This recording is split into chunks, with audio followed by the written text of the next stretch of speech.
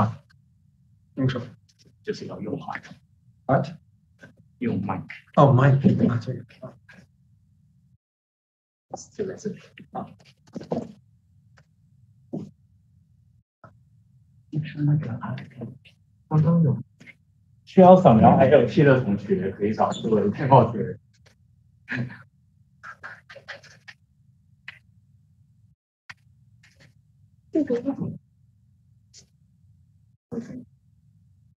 好，就是等下，等下在离场之前需要再扫描一次，谢谢大家。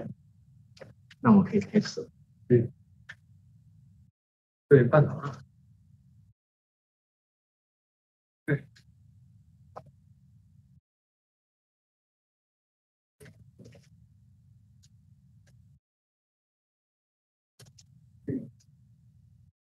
开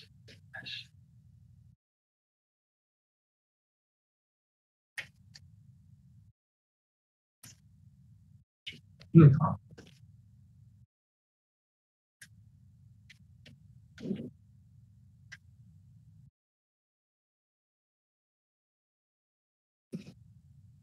哎，尊敬的司定文教授，呃，还有网上的刘建辉教授，呃，各位尊敬的来宾，还有我们各位同学，线上的朋友们，呃，这里是我们岭南大学环球中国文化高等研究院，呃，大家晚上好，非常欢迎大家来到这里了。今天我们非常荣幸，呃，有机会请到这个三藩市大学语言文学文化系教授斯蒂斯蒂文教授啊，Steven Roddick 来为我们做讲座。呃，今天是我们中国诗歌联合研究中心主办的中国诗学论坛网络学术系列讲座的第八讲。我们的今天的讲座的题目叫做“奔流和感出东山，京都文人中岛中影的吟咏生涯”。呃，这个题目一听就是带有很强的浪漫色彩啊，这个其实很符合我们这个施定文教授的性格啊。这个，我就顺便先介绍一下这个施定文教授。呃，施定文教授现在是在我们岭南大学环球中国文化高等学院呃高等研究院做访问学者。呃，他是一九九零年在美国的普林斯顿大学获得东亚研究的博士学位。他在这个东亚的中日韩三国的古典文学研究方面，呃，都有很有很深的造诣啊。呃，尤其是这个十八到十九世纪的中国与日本文学，目前他的主要研究方向是明清两代诗文的演变及其域外汉文的关联。从这些方向上，大家可以看出来啊，施定文教授在东亚语言上的这个造诣，呃，是很深的。这个他最近啊，刚刚完成了李立温的名剧《莲香伴》的英文翻译和注释工作，去年二零二二年刚刚出版那。这个我我是这个建议这个同学们，这个等他这个讲座做完以后啊，你们可以问问他，这个为什么选择这个李立温的这个《莲香伴》？这个我相信你们会得到非常有趣的答案啊。这，呃，OK 啊，这个那我先简单的介绍这些啊。呃，先让我们这个热烈欢迎这个施定文教授为我们做这个精彩的讲座。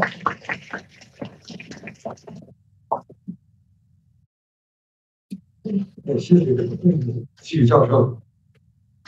啊，应该脱开是吧？啊，声音声音会好一点啊。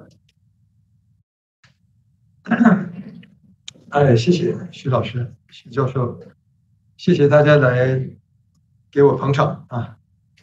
呃，这个先乱七八糟。啊，那我就这样子。呃，你们大家好，呃，非常感谢岭南大学环球呃中国文化高等研究院和中文系的邀请，尤其是蔡从奇、呃徐刚、汪春红、呃龚浩敏诸位教授们，呃还有黄玉老师和诸位呃同学们，呃包括 Jerry 在内。呃，给我的鼓励和支持。今天晚上还有网上还有国际日本文化研究中心，就是所谓的日本梗的刘建辉教授，呃，给我做呃评论，我非常感激。刘教授在中日文化交流史，呃，这个领。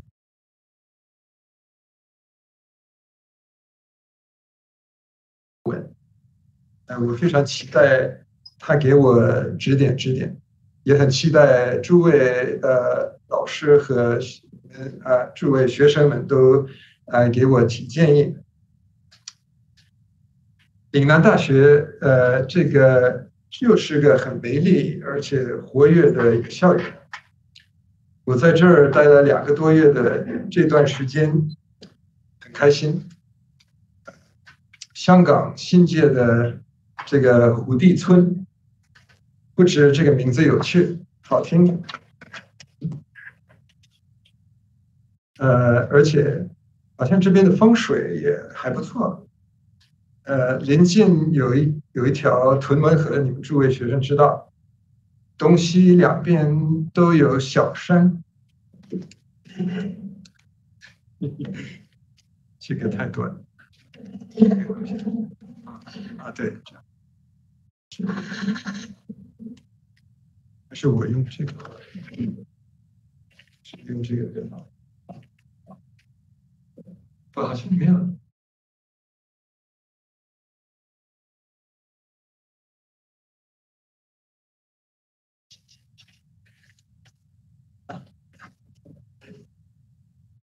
行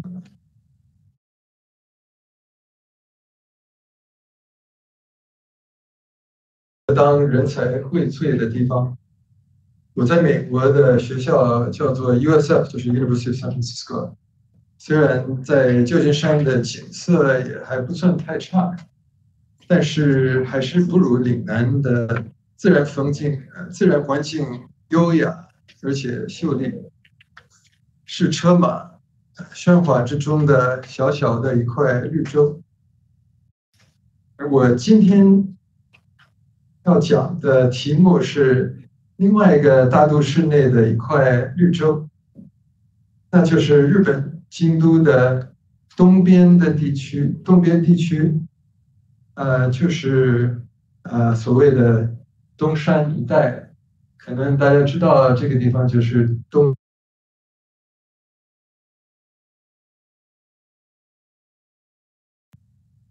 庙宇，呃，就是。呃，所谓的 Silver Pavilion，啊，而这个这个地方呃也是人才荟萃的地方，是鼎鼎大名的京都大学的文理学院，也位于呃东山北边左京区的呃吉田町中，啊，你们可能去过日本的知道这个地方，就是游戏的游戏的球。呃，学校正门的南边有一座古庙，谢谢。呃，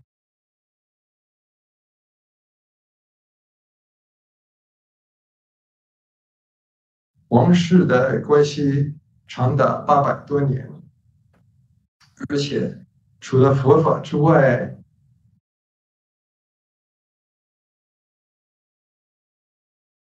铺的八桥，看八桥啊，这个亚村哈西的呃和呃和果子的老铺，呃也是很受欢迎的。我从前就住在这所庙宇的隔壁，不止文化气息很浓厚，而且 甜点的香味。扑鼻而来，是一个昼夜都避开不了的一个呃诱惑。而比我早一百多年的，呃，住在圣公院门外还有一位，那就是诗文大家的中岛宗隐先生，那卡吉玛所以。所以这个宗隐先生在少壮年搬了好几次家，但是最后二三十年间定居于圣后院附近。他在家里的院子种了他最喜爱的棕榈树，因此而取号棕榈，来表示他隐居在棕榈之中。这是小呃绿洲之中的，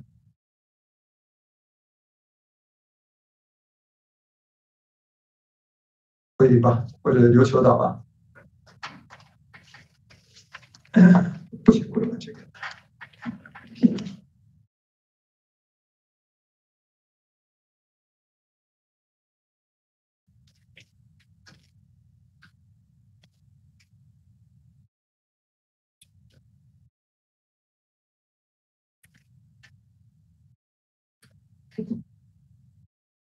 中影。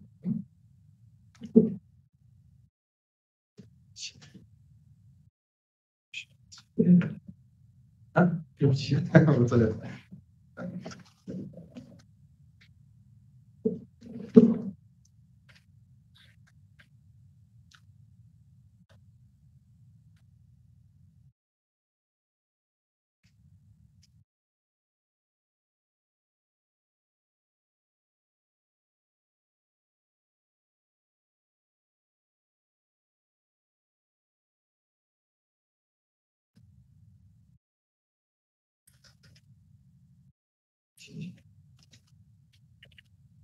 这个总影先生在江户时代中晚期享有盛名，不仅仅是擅长于汉诗文，他也在和文和和歌，还有汉汉文，呃，还有汉和交杂的黄诗，呃，就是 Q 系，也留下了不少的作品。历来引起反应最大的是他的压川四十杂杂词，这本一百二十首的七绝七言绝句，是仿元末明初杨铁牙，就是杨伟珍编的西湖竹枝词。我问一下诸位学生们，有多少人知道这本书？呃，西湖竹枝词。竹枝史集，不知道，知道好，好，那我就继续讲。呃，这本啊，就是一百二十首的七绝，是元末明初的这个人杨伟珍编的，呃，竹枝词，其中的诗句，呃。啊，对不起，是 呃，压轴四十杂词这本一百二十首的七言绝句是仿元末明初的杨铁伟的西湖竹枝词，其中的诗句借用唐宋呃诗句的不少，而且用典是唐代之前的诗占多数。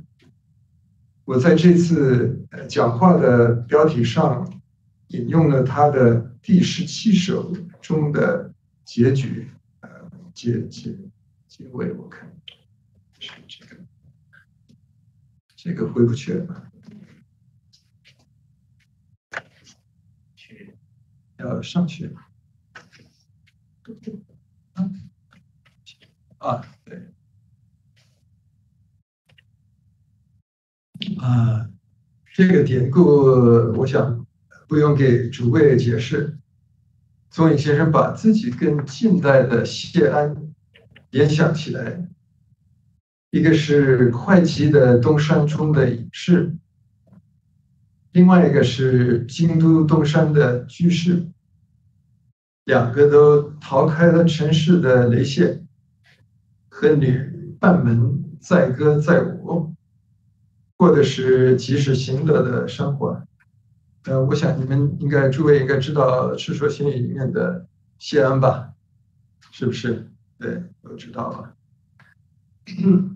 而宗隐先生的境遇自然，而不像谢安那么的复杂。他始终是在文艺界中活跃，而没有资格去参政。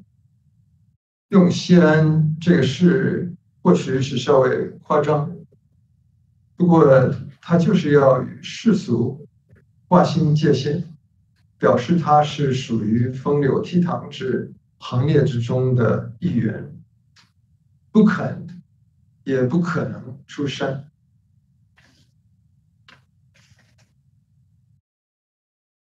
若是您对这个题目不特不熟悉，可能您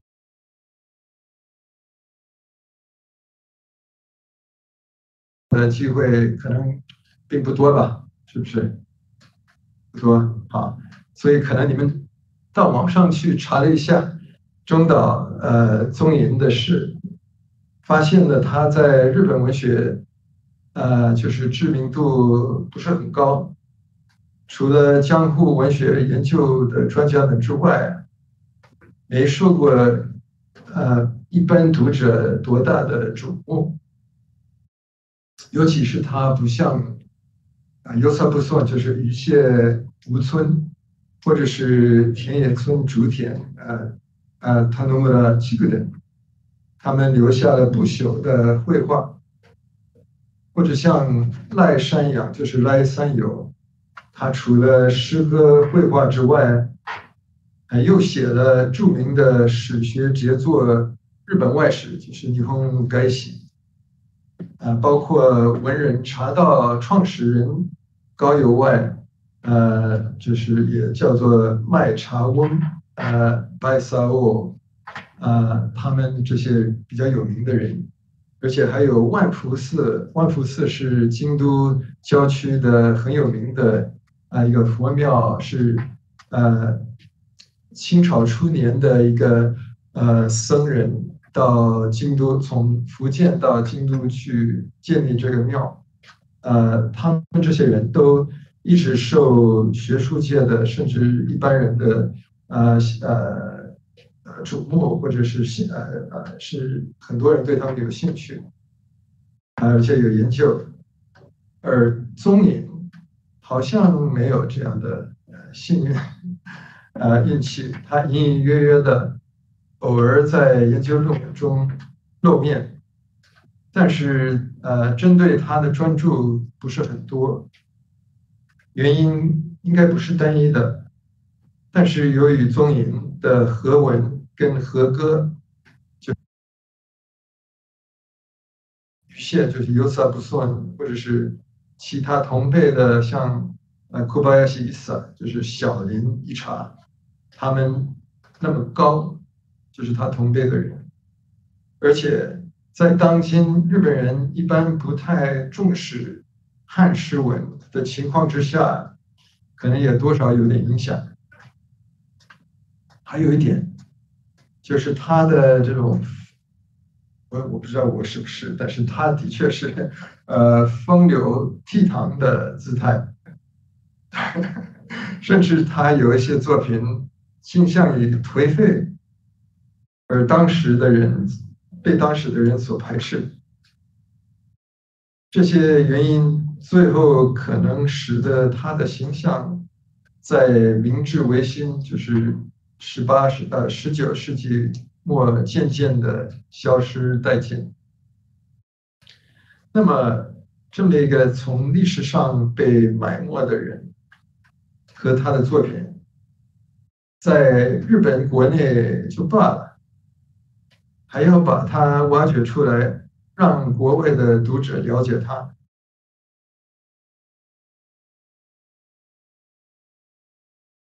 嗯，来品评嘛。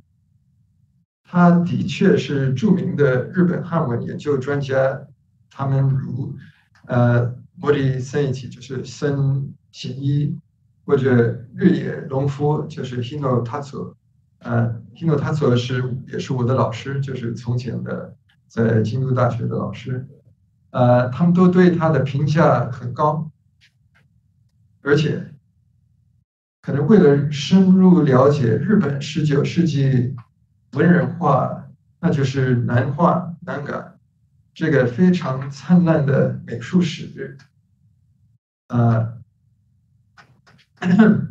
呃，这个读呃宗寅的作品有一定的意义，而我之所以注重这位文学家，其实是别有用心的，那就是我想重新思考中岛宗吕，呃，宗隐，呃，是不是能够把他，呃，从在文日本文学史中的地位抽拔出来。把它放到更为广阔的东亚文化或者文学史上来研析他的作品。说的稍微具体一点，我们呃看他采用汉诗文这个媒体的用意和写法，是否与同时代的中国或者韩国甚至韩国文学？是不是有并行或者是平行的关系？就是说，把中岛宗隐的写作，包括和文与汉文、汉诗，都放到中亚文化圈内抒情文学历史上来了解它，是否能够让我们更深一步的了解东亚这个广大的范围之内？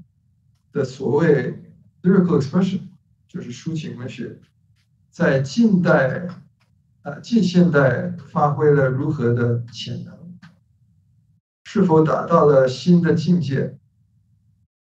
因为向来日本学术界对汉诗文的研究，呃比较少是采用跨国界的视角来看待锁国时期的文学家。我想你们都知道锁国的时代是什么时候？呃，有朋友有呃学生呃同学知道吗？这个锁国的情况是什么时候发生的？在日本，有人知道吗？锁国是什么时候开始的？什么时候结束的？江户。对，江户时代的呃，几乎是开头那个一六呃，对一六三九年。从三七年到三九年，一直到一八五四年，两百多年，这个时期呃，就是日本是锁国，不让外国人进来，所以呃，日本的 呃，就搞这个这方这一方面的研究，比较少是采用这种跨国界的视角来看待锁国时期的文学家。我们若能够跨越单一民族或者是国家的呃单一国家的这种考察方呃策略，在中日之间，或者或许可以从几个国家之间的异同，能够达到更加完整或者是广阔的了解。所以我是探讨。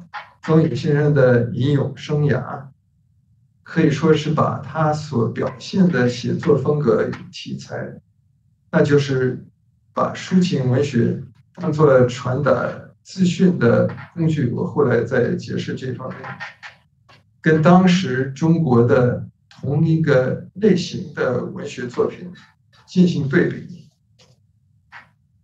这方面，在这方面。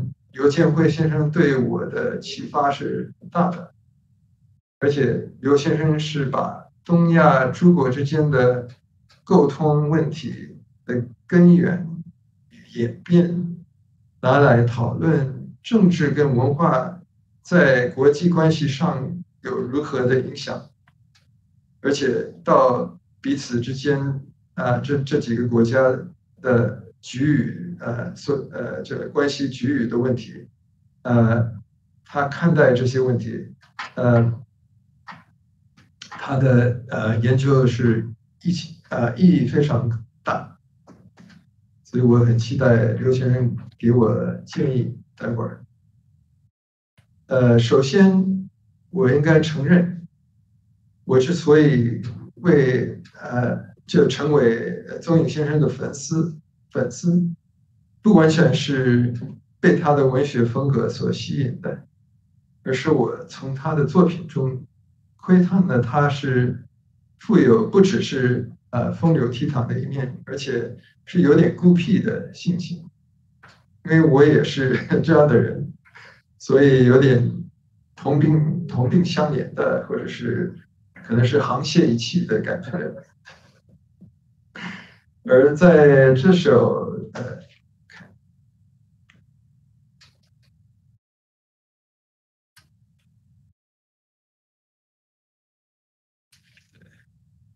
嗯。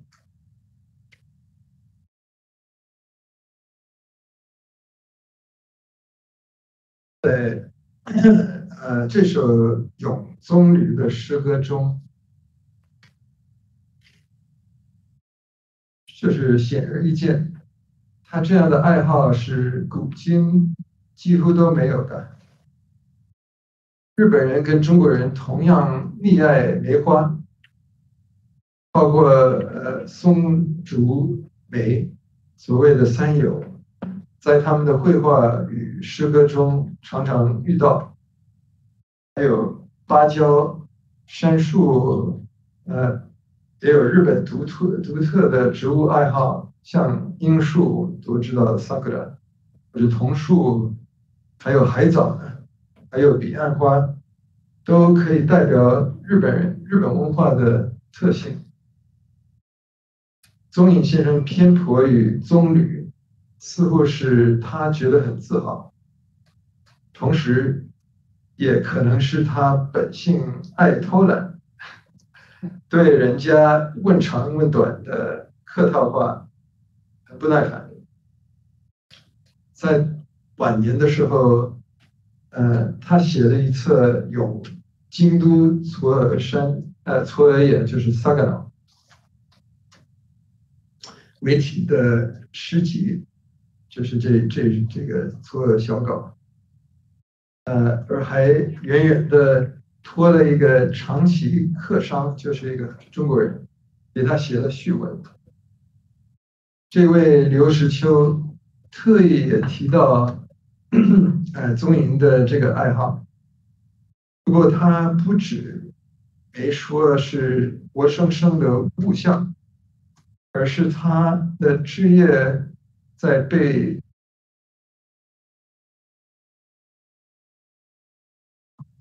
在月白下如鬼鬼发一样，显得宗隐先生不止孤僻，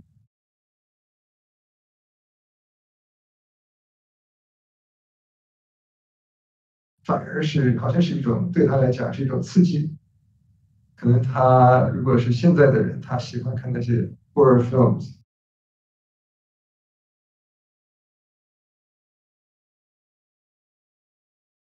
可能那时候他已经过了七旬的年纪，呃，天不怕鬼，更是不怕了。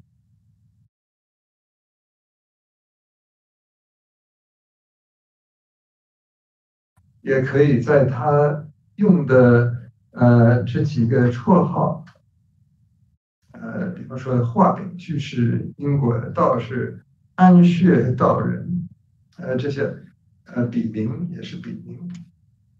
我们可以看到，他是故意不遵循世俗的窠臼，尽量把正经八百的老考究们逗去，而他的这些逆行，也不像渡边华山，就是有名的一个呃当时的呃画家，也是呃呃儒儒儒家，呃就是沃特拉贝卡萨，他不像他那样。从正面反对幕末政治或者社会现象，而是半半开玩笑的拿来当画的。他的作品多半是取材于当时盛行的青楼，包括译者，啊，吴子就是 Michael，嗯，还有 Kabuki 就是歌舞伎演员。或者其他娱乐行业的日常，这些行业在京江户初期，主要是集中在京都的岛原区域，就是西马巴拉那一带，离这个地区中呃东山还有一段距离。但是在宗隐青少年的时候，呃，这些呃行业从岛原迁移到东山一带，就是现在的奇缘，我想你都听过这个名字，就是 Gion。而到了十九世纪，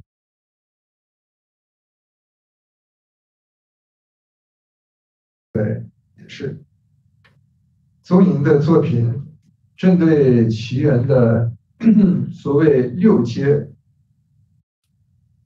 的各种各样的习俗，和他他的周围的小商呃小商商店呃商业，而其中的亚东四十杂词描写的最详细详细。别的作品也涉及到京都这些市民的生活，呃，生业就是。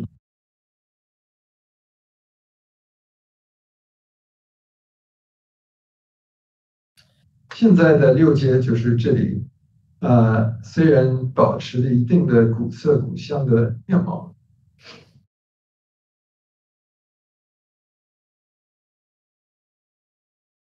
呃。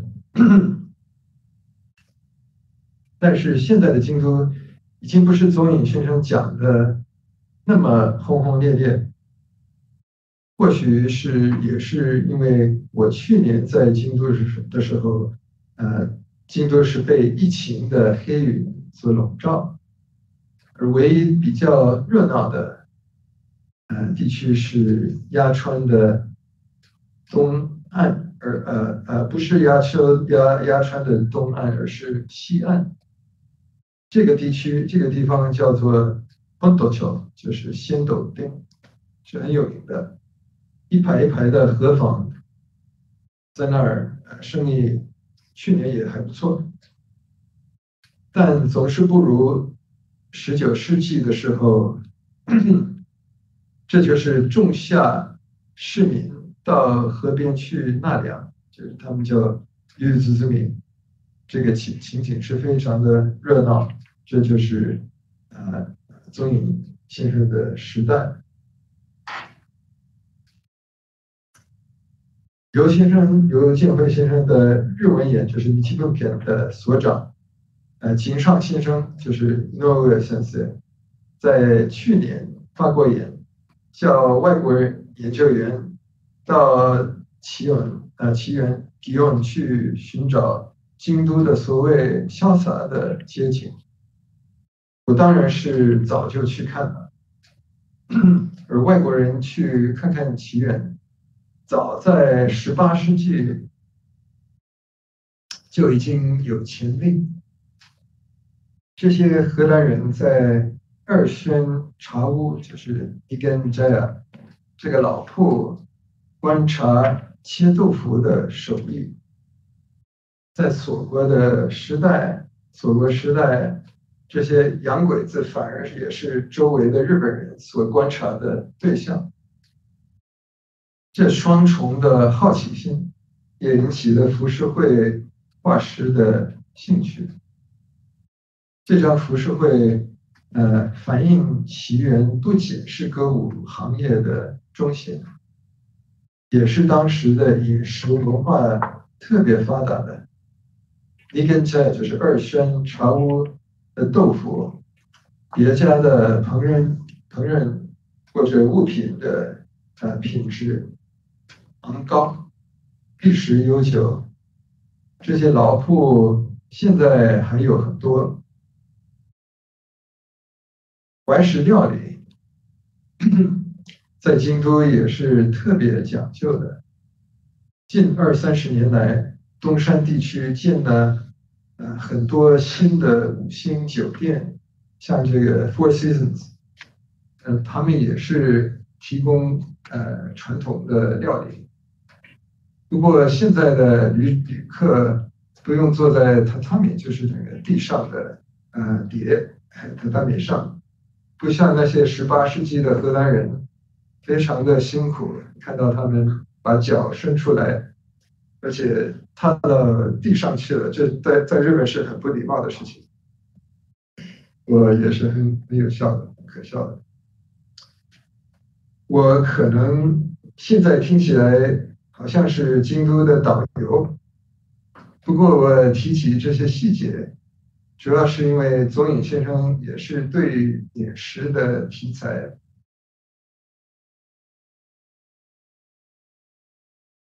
首诗，他感谢一位大夫，所谓的大夫就是一个邻近的呃守护官，就是等于是 governor，呃，过年的时候给他送来的寄语。鲫鱼呃，在日本也不是中国人说的一种淡水鱼，这个是呃日本人特别爱吃的一种海海鱼，肉很肥。而且又嫩又香，我其实也很爱吃。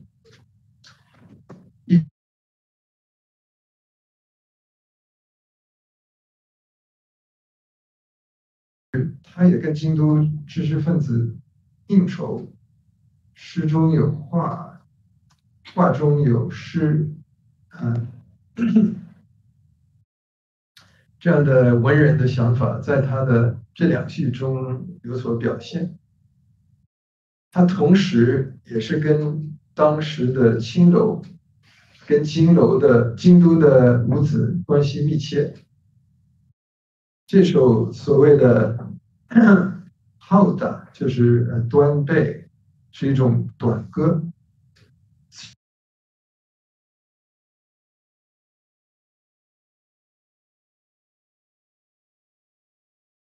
或者 Michael，他们到现在一直流畅，呃，一直呃唱演唱这首，而且认为是就是宗颖写的，可能也是因为呃这首歌的内容跟他的《亚东四十杂词》是像的、相近的，比如刚才说的一根针，就是那个豆腐豆腐的点，还有东山上的景点。也在这里有有所出现，这当然是日文的，而这首所谓的春秀，呃，哈日哦说的，啊，是写六街的风情，说的是从袖子中散发的香，呃，花香，在新春是多么的引啊引起彼此之间的恋情等等。这个题目也是在亚东词里，当然有所出现。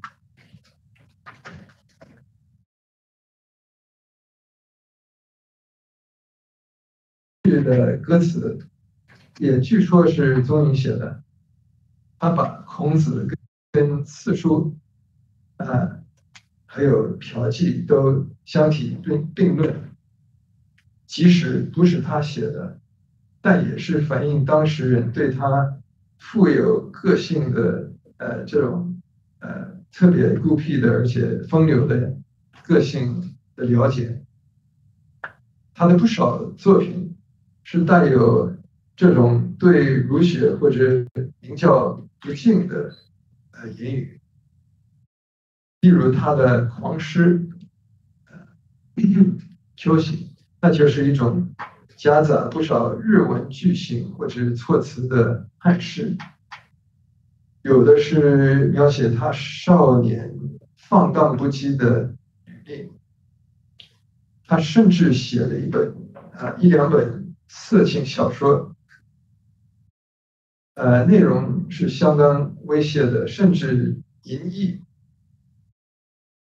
当然没有像《金瓶梅》那么 那么可怕。不过也是蛮蛮呃危险的。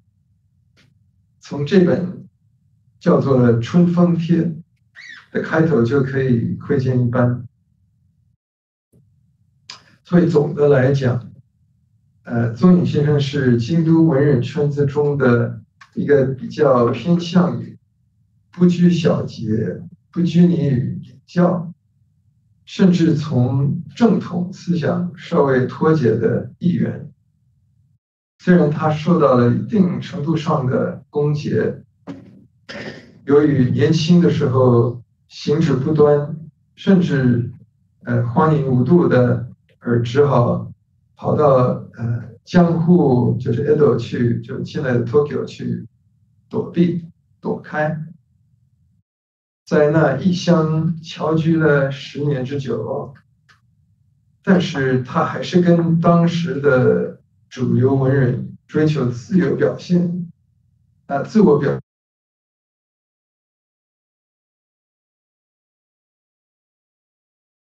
当时的文风，不管是和歌或者是汉诗，对所谓的浮世中，就是 ukiyo 取乐。的这个题材，啊，可以说是忌讳并不多，所以随着大陆的呃书本传进来，不少汉诗人开始模仿原文，呃，元明清以杭州西湖或者南京秦淮河为题材的名著，这应该说是跟当日的日本国情没有什么矛盾的。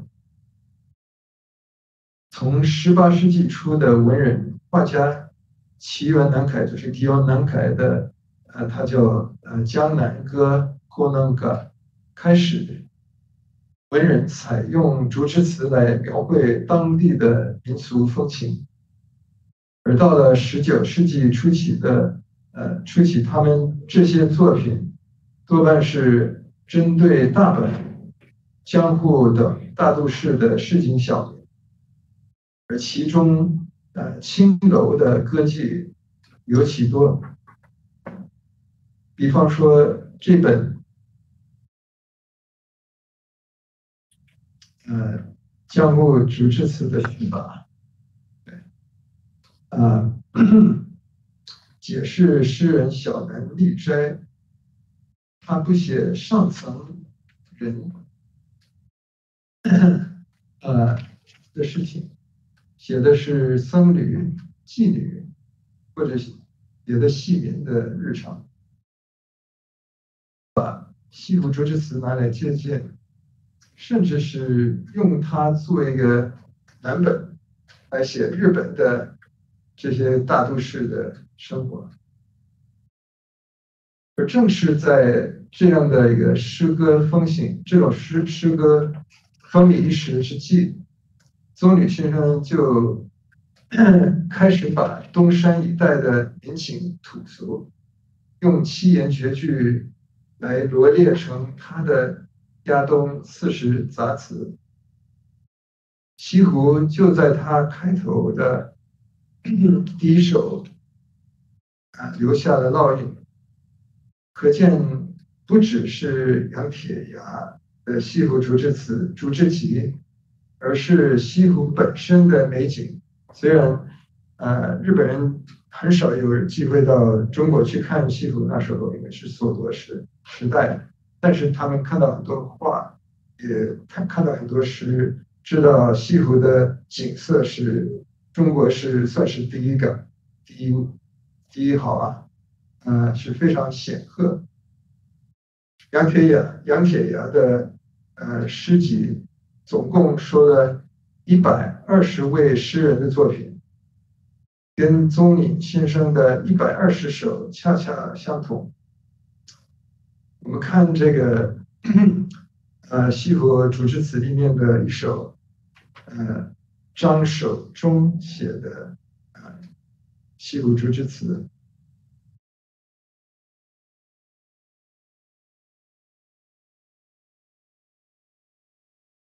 朴素，虽然宗闵是把鸭川的景色说是日本的小西湖，但是其实他的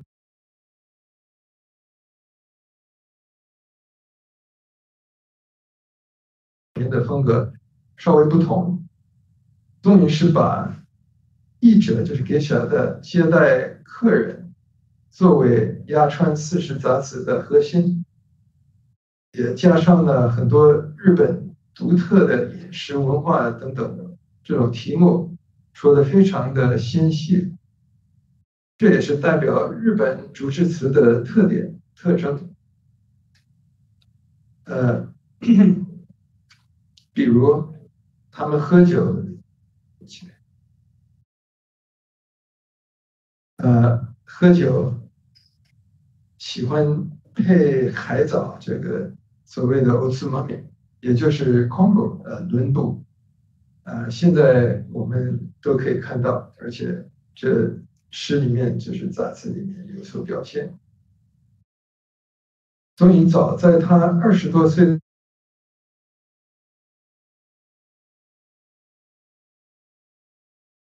就是出版了，在这个时候，他逃到江湖去了，在那里待了十年，才回乡了，才回京都了。这个时候就慢慢的添加了几十首，也后来也出了六十五本、六十五首的出版，还有一百一百首的一本两次的单行本。他除了恋情的题材之外，也补充了不少内容，涉及到了当地的各种情景，尤其是呃东山。一带的庙宇、寺庙，比方说这首是华顶山的名刹，呃，智恩院，在新春的时候举办法然大师的。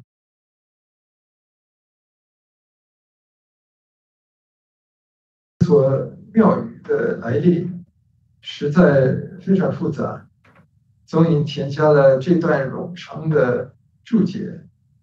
说明这座本来属于天台宗的这个古庙是被法然，法然是很有名的一个呃僧呃僧人，就是和尚，呃他改建成净土宗的本山，就是波丹林的，也提到了唐代呃唐朝法照法师的呃一首诗，这其实是带有一点考究的味道。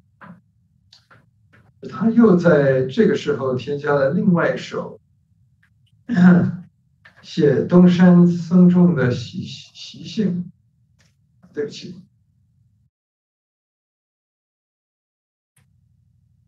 对，刚才说的是这个，对不起，啊，这首是第十二首，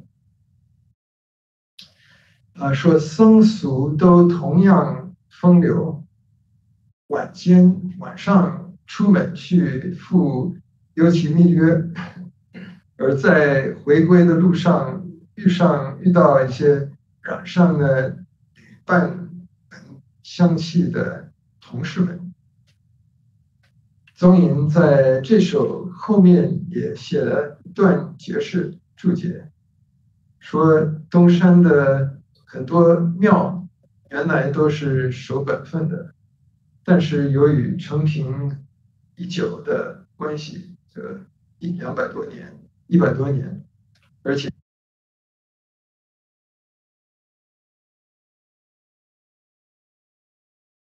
呃，是这个山脚下的奇人，这些僧侣也跟着他们开同样的所谓的一字修百，那就是这种生意，以致这些僧侣都破了戒。把香火念经的本业当放屁一样的 不屑一顾了，所以在中国给主旨词加上注解，其实是从明代开始盛行的。宗寅的六十五首和一百首的两次的版本没有注解，是到了最后的一百二十首本。他才开始用这样的短文来解释地名，还有祭祀人名等等，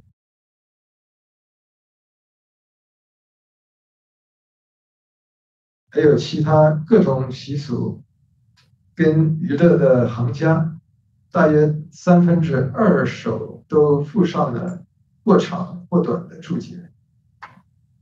他为什么会这样做呢？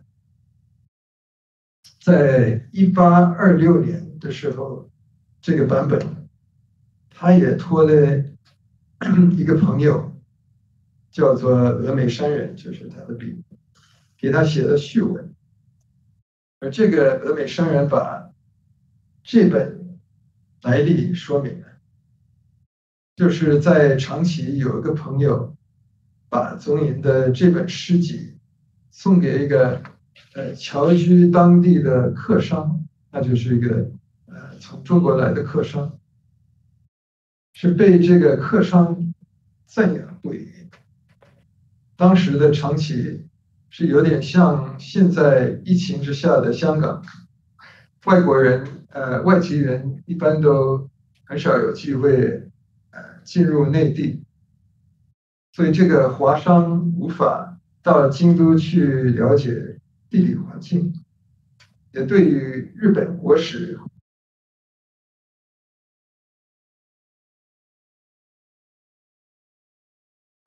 呃，希望宗颖让他了解呃其中的秘妙，而宗颖欣然应允了，结果写了一本比较完整的，等于是一个指南指南书啊。而他的模范或者是蓝本，就是明末清初南京秦淮河的回忆录，那就是《板桥杂记》。这个峨眉山人。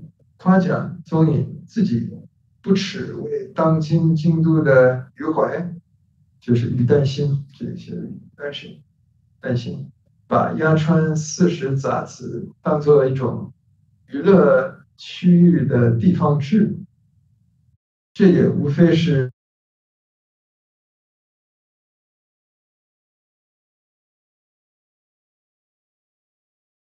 在南京。秦淮河鼎盛时期的一种繁华路，给玉阶之仙都这个秦淮河的各种风流与呃和轶事都记下来，传呃传给后代，跟元末明初的西湖竹枝词是异曲的异曲同工的一个大作，一篇大作。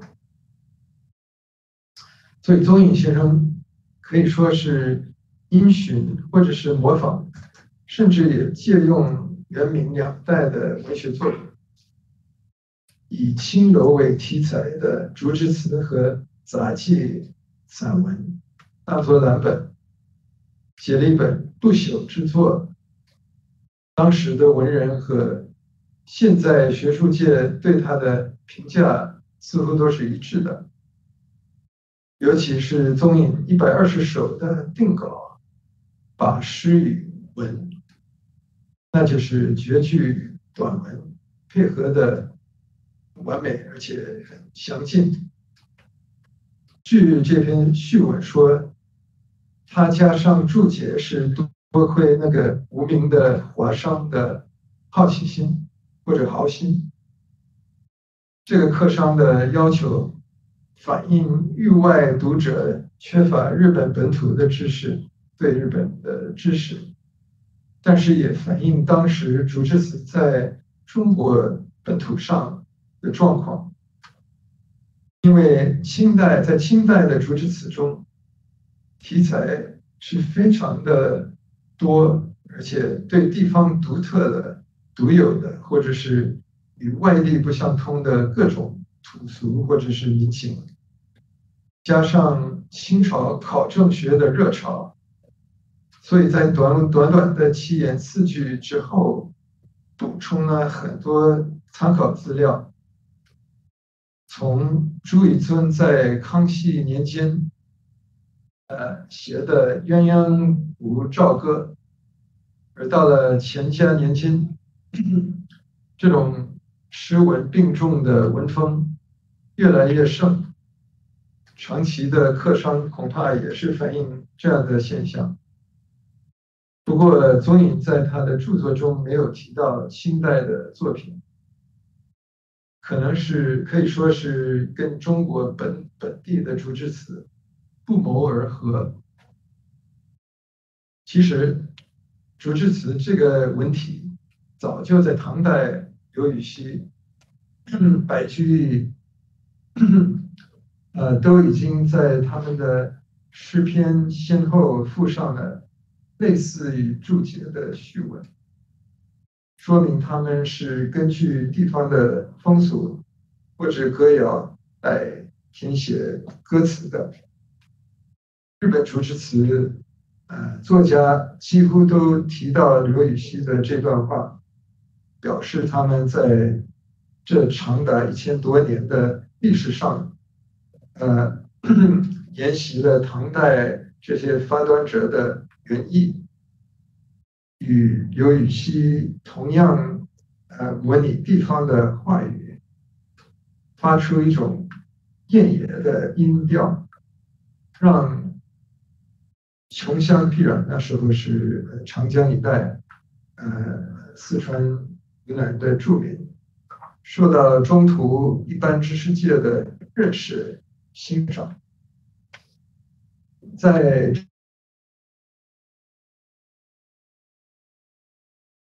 脱离这个根源，那就是把内地呃或者知识界所不熟悉的远方的语言或者民情予以介绍或者是阐述。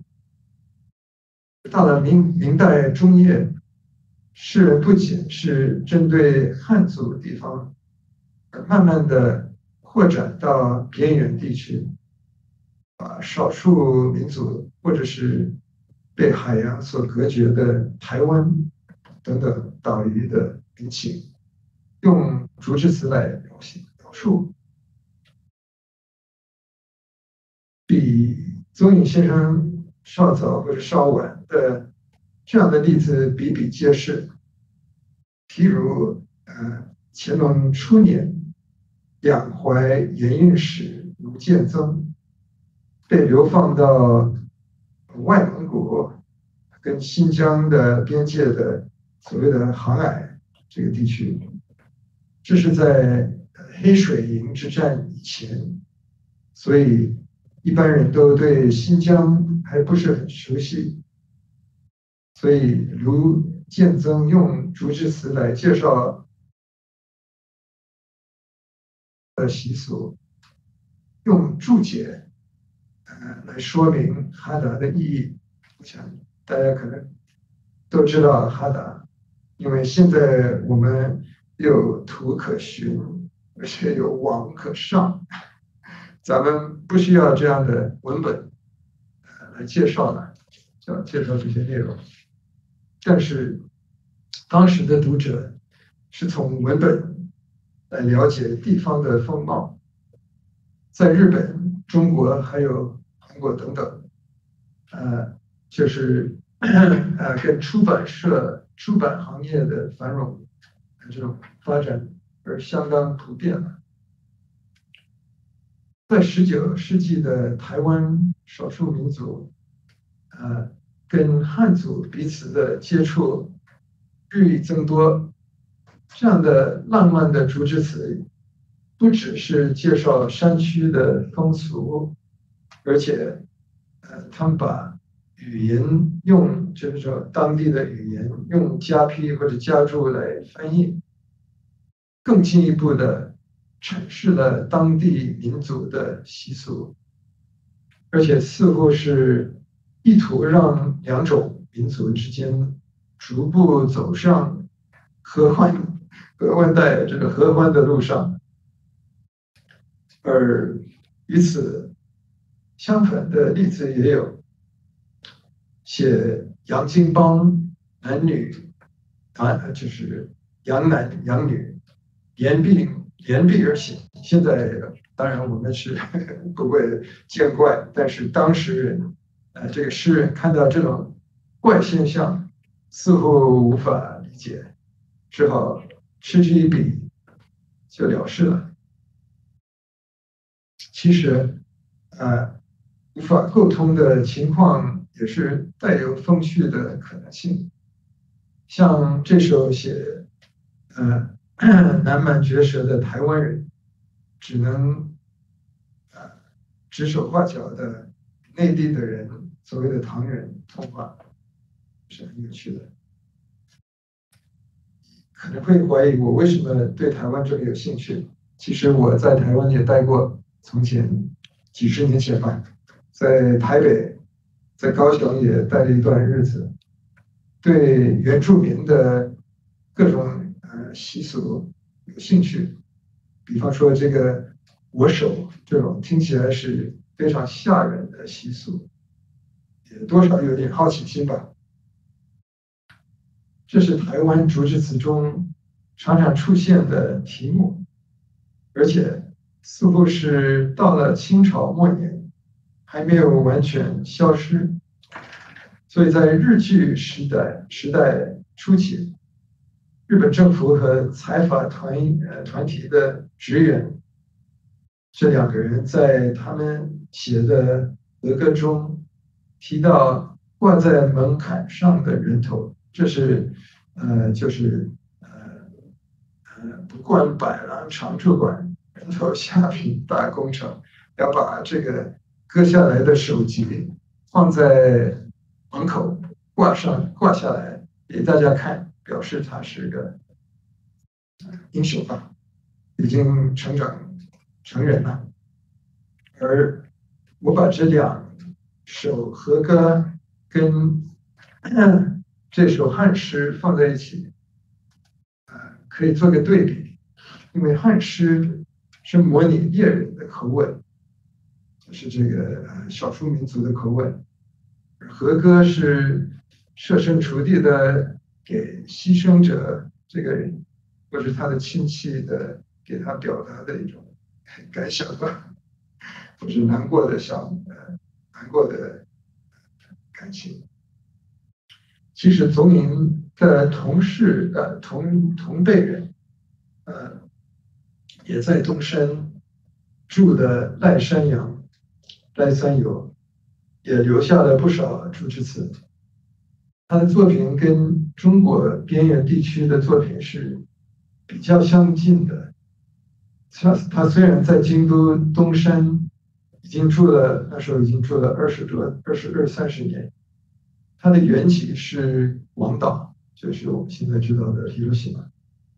而有一年他回乡的时候，也到了九州，就是另外一个岛去观光。虽然他那时候国家 还不还没有开放，就是锁国时时代，没有办法到台湾去访问，但是对台湾好像非常好奇。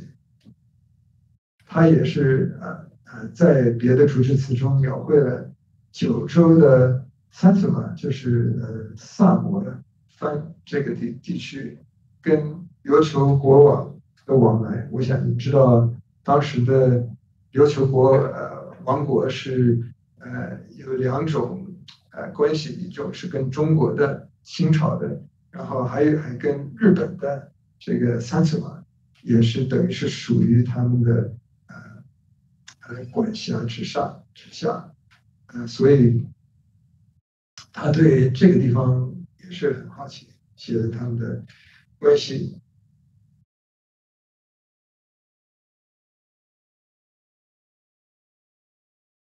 时间特意写了几首有关华商，就是我们刚才说的华商，呃，跟当。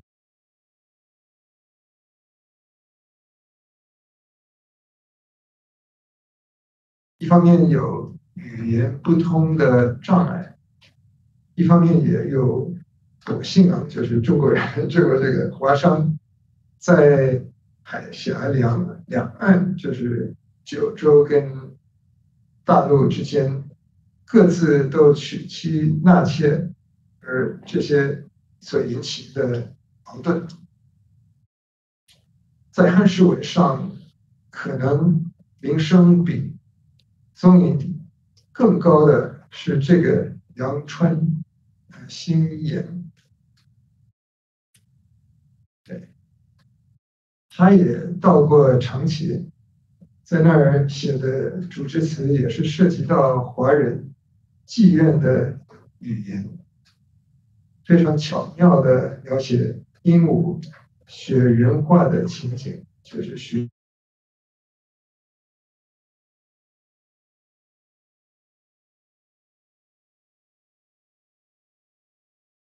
一种描摹，活泼可爱，而且也很逼真的。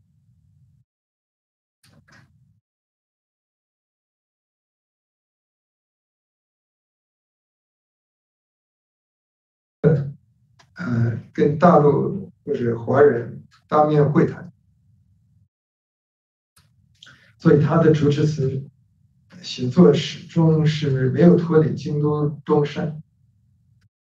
不过他在江户的十年间，也跟他的朋友进行竹之词的唱和，这是他 呃跟呃他怀念当时在上野，就是维了不忍池，我想你们知道是西多巴族一个呃这个池边的宴席，呃同样也是写。译者就是 Gesha 或者啊艺人的跟文文人之间的交集。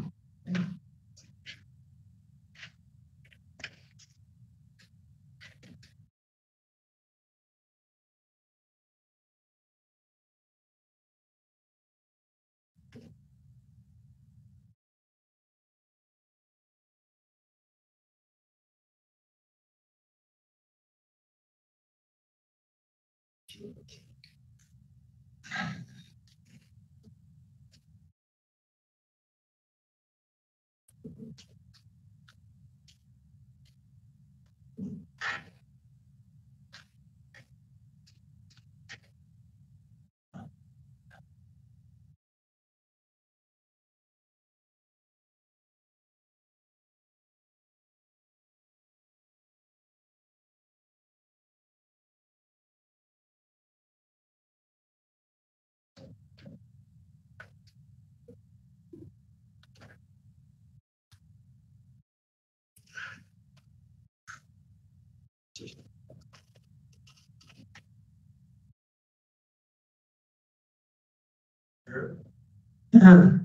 他写的这个，他写给这个啊吴显先生，吴显赠吴显，这个人就是呃。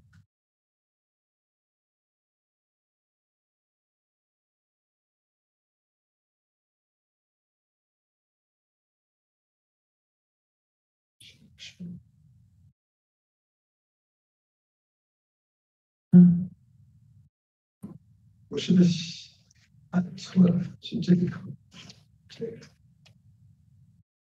哦，这个，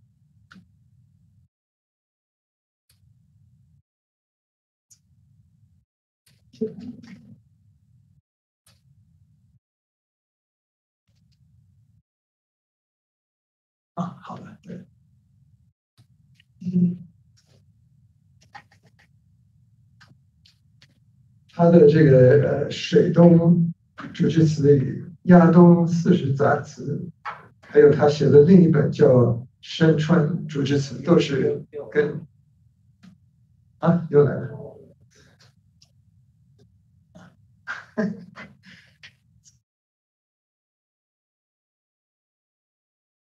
技术有问题。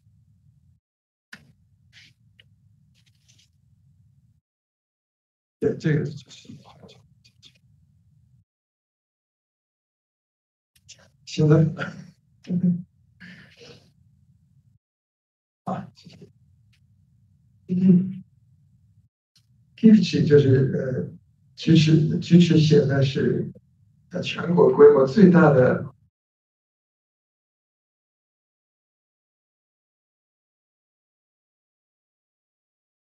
矿是很独特的。嫖客要得搭船过河才能进入境内去享乐。他们河上的船只也很独特，很特殊，叫做朱雅舟，就是这个 Choki 最后一条是朱雅，宋朱雅，呃，日文叫 Choki，对不对？朱雅，朱雅舟，朱雅舟，呃，因为形状。就像呃呃野猪的獠牙一样，呃长长细细的。乘客若是呃没有经验，或者是就是不常来嫖娼的呃一个货老，他很容易就掉到水池里面去。和歌还有一种风趣的，叫做三流，就是串流。这种短短的呃十七呃十七个。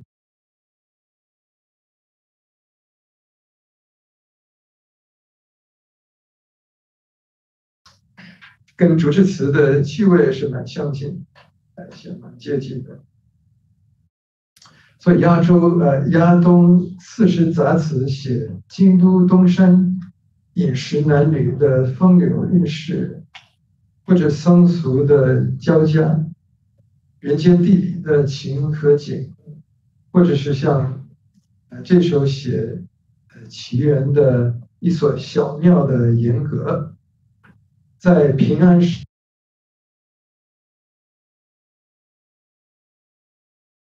大禹治水，而后来改换成呃地藏菩萨这样的诗，是给东山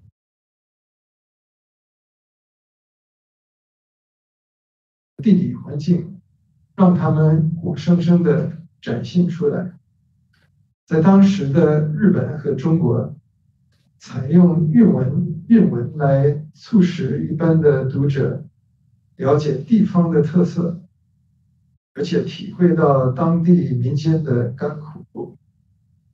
宗隐居士，他也算是居士，一生都执着于东山，而且用抒情文体来传达给有心人，不分内外，跨越国界。在他晚年的，在他晚年的这首五言古诗中。也发现，这就是由衷说，人总是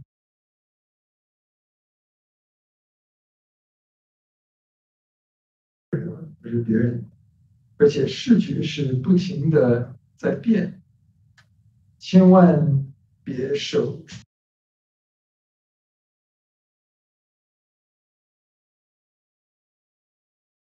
五五年过世的。那时候，呃 c o l o r Perry 的黑船，就是黑色的船，就是美国的，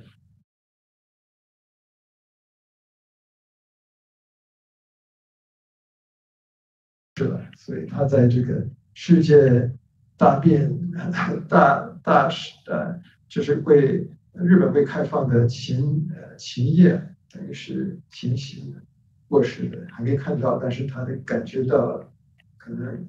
将来会有些比较大的变化。亚洲四十杂词问世不到十年之后，日本关西一带遇到了天宝年间，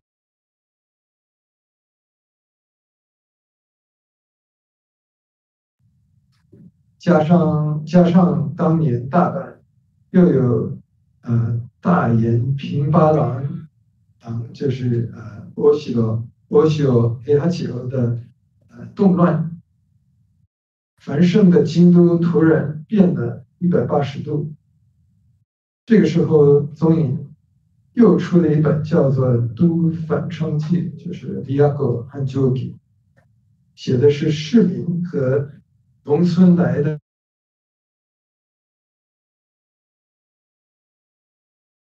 社会的激烈矛盾。可见，呃，宗隐先生是很能够随机应变的。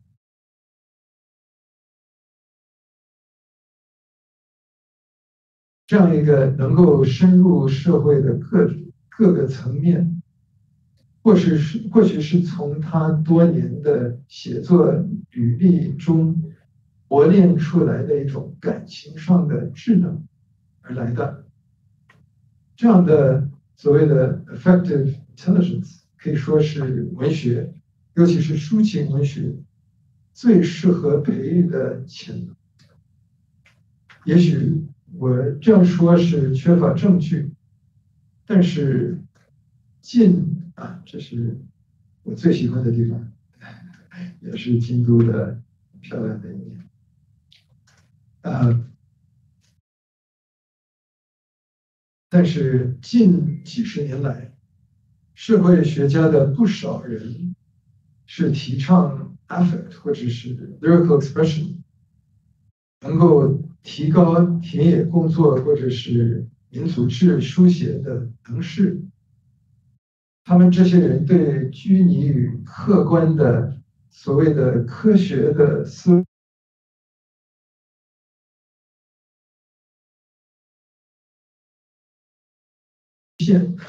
而达到更深远的了解，其中有一些像 Andrew Abbott 也举起了。日本古代和歌的传统为例，认为这方面的基于感情上的意识形态是研究社会或者民族的一个不可或缺的能事。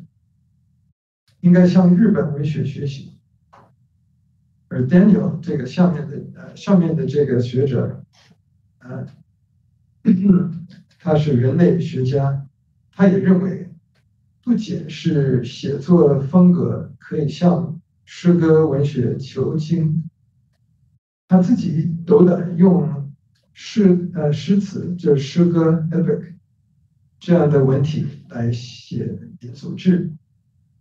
说是这样才能够与本地本地县人达成共识，这样才能够书写真实的民族志。还有一批 专家认为，分析社会或者是民族，是一定要跟地方 现象紧急呃紧紧结合。而且研究某个地方，就是能够跟此地有所感触，可能跟中国人的所谓的接地气的想法是比较相近的。其实这一方面是中日的抒情文学，很能够给社会学家提供想法，而其中的竹枝词、乐府、山歌等等所谓的采风的传统。尤其适合做这方面的蓝本，还有社会学家，像这，呃，这位创办了人类学兼诗歌创作的一个学会，他们提倡用诗文写作来提高研究员的各种智能，让他们更加敏锐的。而且能够融入本地现人的境界，能够设想，也能够考察社会现象。还有一位，呃，提倡诗歌与实证研究，不只是应该，而且是不得不同时参与。如果缺呃缺乏想象力，在社会科学。自然科学和人文学科都同样是个很大的一个缺陷。这几呃近几年来，呃提倡诗歌和社会学彼此的融合与借鉴，只有 Daniel 或者 Abbott 这几个人特意着重注重亚洲或者是其他非欧美的文学传统。若是说东亚文我们现代社会中启发呃发起作用，其实这也是法国著名哲学家兼汉学家曹索朱亚他所支持而且自己所实行的。朱利亚立论是有多重多种方面的多重方面的，实在。是一言难尽的。对他来讲，东方就是他叫欧利翁，跟 Occident、West 之间的关键歧视、呃歧义，是涉及到认识论的基层问题，而实际上是把东西文化一同追溯于古希腊，比如 Odysseus 呃。中呃《奥德赛》中的主角人物呃 Odysseus，他漂泊于地中海，可以代表西方的一种敢于探究玄虚，甚至这篇史诗也是西方思想的一项追求形而上的本质的主要根源。从呃古希腊哲学泛滥下来的西方思维方式。是越来越注重呃 Odysseus 之之类的英雄的自我主张，肯定自我思维 （self-agency）。他甚至说，欧洲思想史可以总结为主题与自我主张、自我肯定越来越显著。个人的力量来自他能够行使其个人的意志，来跟外界奋斗和世界抗衡，等于是一种根深蒂固的，甚至痴迷的向往。而以中国为主要代表的东方，虽然不缺乏英雄豪杰的敢于行动的例子，但是，呃，他认为，就是直利安认为，这些模范应该是诸葛孔明能够，呃，草船借箭似的顺水推舟，一切都听其自然。结果，个人的潜力几乎是无穷的，百事不入规脚啊！不像西方英雄总是嚣张，甚至跋扈。他另外 也把西方思维的典范，呃，当做古希腊的 polis，而就是城市内的建筑。他说，建筑的观念。城外的天然领土是不同层次的，甚至是彼此不相关的两种领域。城市是以人为的建筑所构成的，而且也是依赖宪法的条例或者法则的基础。这是人文一切现象的模范，跟中国的或者东方的。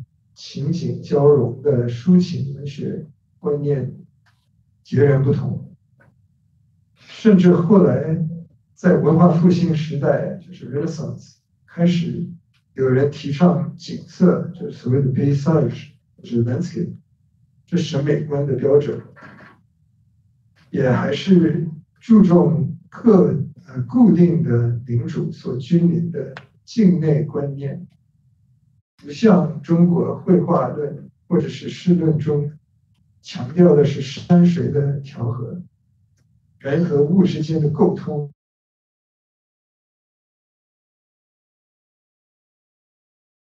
早就在古代就追求一种超越性的、固定的、与现实世界遥遥相隔的地平线，跟中国传统的。随机应变的情感成分较为浓厚的智能，可以说是格格不入的。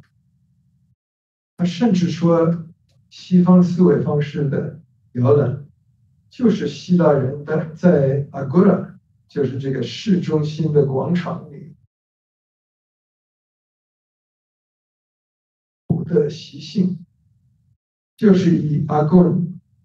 这种斗争的行为或者心理放在首位，与东方强调谦卑的、谨慎的、注重和谐的处事态度是也是截然不同的。实际上，其实在很多方面未免说的很太可能是太笼统，不见得能够说服我们。就会写啊，嗯，但是我们也可以对他的这些启发性的、其实蛮大胆的见解加以思考。中亚近代、近现代文人，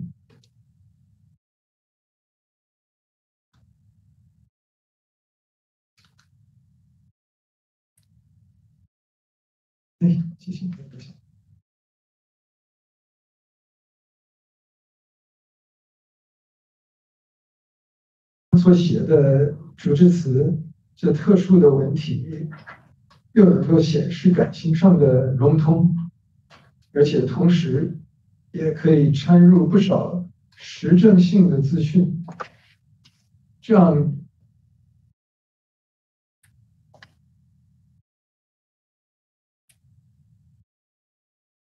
没关系。快笑，快笑。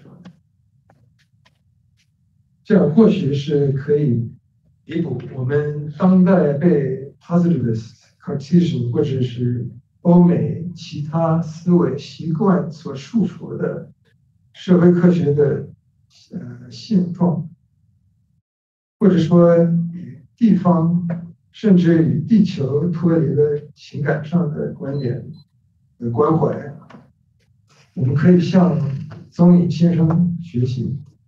那就是接地气，和我们周边的人和物融为一体，呃，实现呃太平盛世的理想世界的大的或者小绿小的绿洲。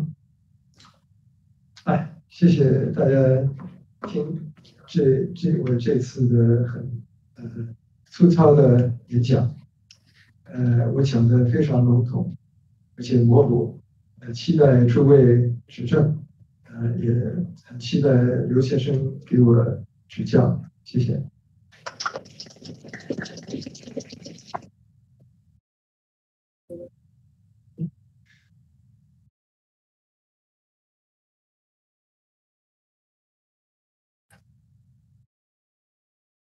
呃，非常感谢施定文教授精彩的演讲。呃，我听这个呃施教授的演讲，一边听我一边是觉得好像在好像在看他做一幅画，这 个不知道大家是不是有同样的感觉啊？呃，他一边讲一边好像是把围绕着中岛中美，把他周围的人的历史，包括一种风俗人情的这个整个的画卷都给我们展开来了，有浓厚的这个艺术气息。呃，所以我想，这个喜欢中岛中影的人，一定是这个呃身心潇洒啊，这个喜欢这个艺术的啊，有强烈艺术气息的人啊，这样的性格，我说的对吗？那个另外这个呃，刚才这个他说到这个，他说他我为什么对台湾这么感兴趣？我八卦一下，其实他的太太是台湾人。那个好，这个我们这个今天的时间啊，因为到这里下一步我们要进行这个第二个阶段。这个同学们如果有什么问题啊，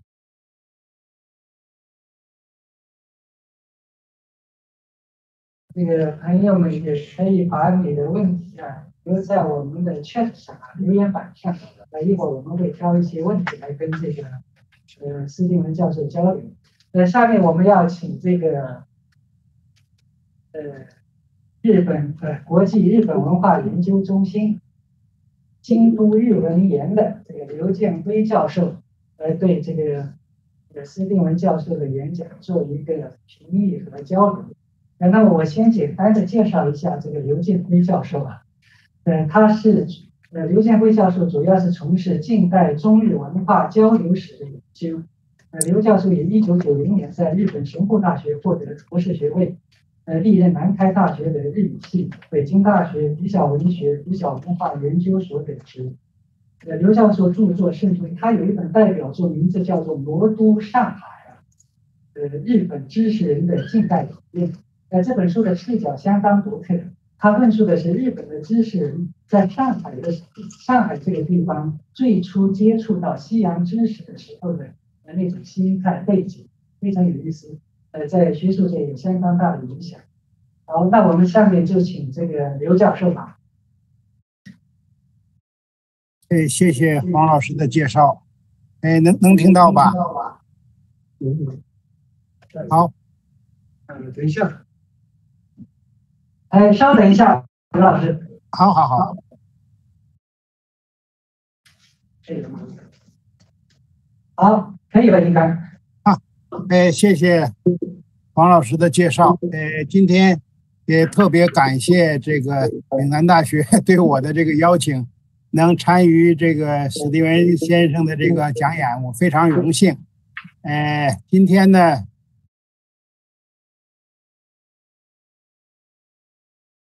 怎么说呢？可以说是，呃，挖掘了一个历史上非常重要的一个诗人吧。那个。这个不光在中国，在日本对这个中岛中吕也几乎没有人 知道了。呃，今天听了史蒂文先生这个呃讲演之后呢，我也特别感慨。那个可见我们过去对这个文化的理解还是非常肤浅的。呃，今天受到了很大的启发，能够把另一个层面的这个怎么说呢？呃，文人的这交流也好，和他们这个呃共同的这个关系也好，都重新给我们展示出来了。那我下面呢，就就今天呃史蒂文先生讲的内容呢，我做了一个小的这个呃 PowerPoint，我那个就能不能让我共共享一下我的画面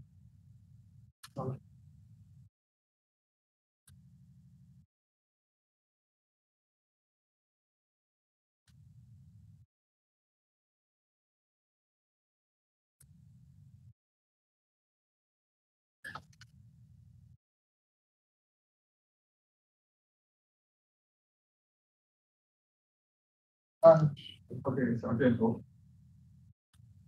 嗯，刘老师可以试一下，现在可以用。好，好，好，可以了。那个，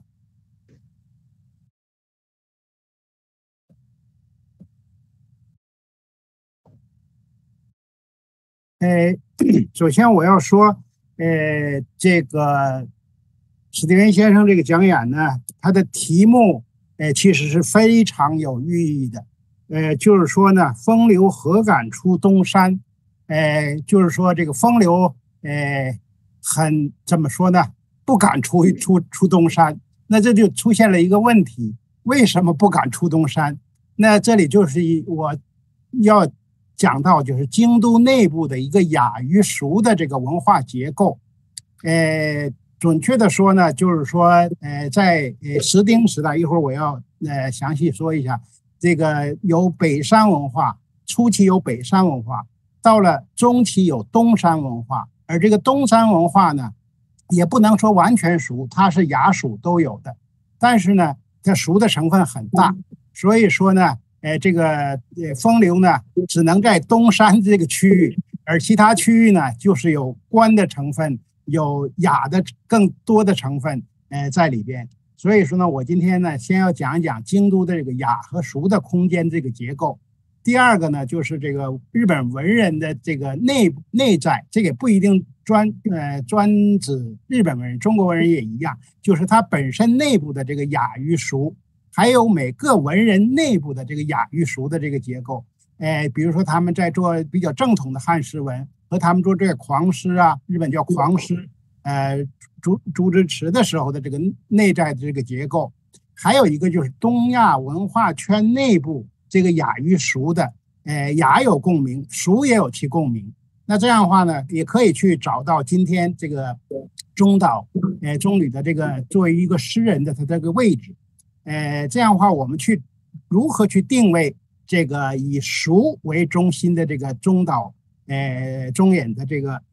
他的一个作为诗人的一个文人的地位，还有呢，最后我要稍微说一下，刚才史蒂文先生也自己已经总结了他的研究的这种独创性，哎，我要那个稍微介绍一下。首先呢，我就要说那个什么是东山，呃，因为我过去呢是在博士的时候，我做的是永井和风、哪个埃卡夫这么一个呃日本近代的一个文人。他呢，几乎是一个可以说是呃雅俗并肩的这么一个文人。他特别是后期晚年，从这个呃进入到这个所谓的这个呃大正时期吧，明治末期，他是明治末呃早期出生，后来一直生活到这个昭和时代，也就是战后。那他早期呢是非常呃这个可以说是反体制的吧，用现在话说，就是对明治政府有了很多批判。但当这个因因为呃其他的思想家，呃比如说这个幸德秋水这样的这个思想家或者是运动家被镇压之后，他就开始呃用现代话就隐遁了，就是说那放弃这个对呃政府的批判，然后就进入一个呃呃江户的这种俗文化的这么一个圈子里。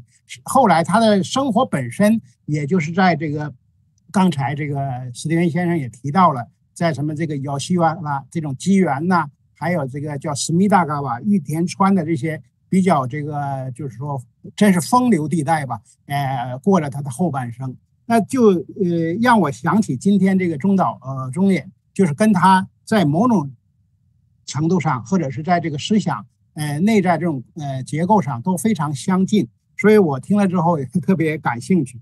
呃，还有就是中岛呢，那个因为他自诩啊是呃当代就是日本的唐伯虎，哎，就可见他给自己的定位也是在这个整个这个中日文人的这个呃隐士和风流才子这么中间的这么一个定位。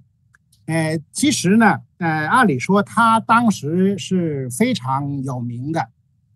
呃，为什么我说今天史蒂文先生这个讲演很重要呢？就是说他当时跟呃所谓的赖山阳，也是在这个东山居住的这么一个赖山阳，一个呃很大的一个日本代表性的儒学家、呃诗人吧，呃，是住的邻居，他们的诗呃这个诗文的这个名声在当时是齐名的。哎，有人说呢，就是说这个，比如说，要是说讲诗要数赖山阳，哎，讲什么书法，哎，是谁谁谁，哎，讲这个这个，呃，绘画，呃，是谁是谁。然后呢，讲到这个中岛的时候，他们一定要提一句，就是说中岛是，就是叫，呃，就是非常怎么说呢，就是风流吧，呃，非常这个这个有有情趣的这么一个诗人。所以说他在当时的名声是很大的。那他生活这个区域就是我哎刚才说的这个东山这个区域。这我是一个这个航空地图。什么是东山的这个所谓的这个东山？还有就叫崖东。呃，这几个地名呢，就是我们可以看一下京都这个这个空摄图。这就是这个这个牙川。哎，这一带就都叫牙东。哎，现在呢，大家可能有到京都来过的人，这就知道了。这儿就是。哎，所谓的现在京都大学的这么一个区域，那到下边呢，就是接近奇缘。刚才史蒂文先生说这个奇缘就是风俗街的这么一个区域了。中间呢，现在已经中间有一带有一个地带，就是叫 Okazaki，叫港崎这个地方呢，都变成什么美术馆啦，这么一些东西，就是有大学的区域，然后有文化的区域，而下边再往下就是所谓的这个这个这个风俗，哎，或者说我们叫这个这个风流地带了吧。那个，这有一个我们所藏的一个京都的叫鸟瞰图。当时，呃，明治之后，有很多这个画地图的人就把京都都画得非常仔细。那中间这个流条这条川呢，就是叫牙川，呃，叫卡茂嘎瓦。那它的右边呢，就是东山。那东山，呃，这个这个怎么说呢？这个，呃，有两个大的山头，一个就是中间这个呢，叫比瑞山。那下边这个小的有点蓝色的呢，在靠靠近这个呃右手的呢，这这个就叫就是东山，还有叫圆山这么几个山。那这样的话呢，就是说也可以说是在山水之间，呃，加了这么一个加着这么崖东这么一个地区。那个我把它扩大一下，就可能看得更清楚了。这中间呢，就有一些条。桥有四条桥啊，三条桥啊，还有七条桥啊，五条桥啊，就是用这个河水。当时呢，这个所谓的丰熟街呢，就是我现在画的这一带。呃，它的这个具体的位置呢，呃，可以说是呃，现在在京都是最繁华的地方吧。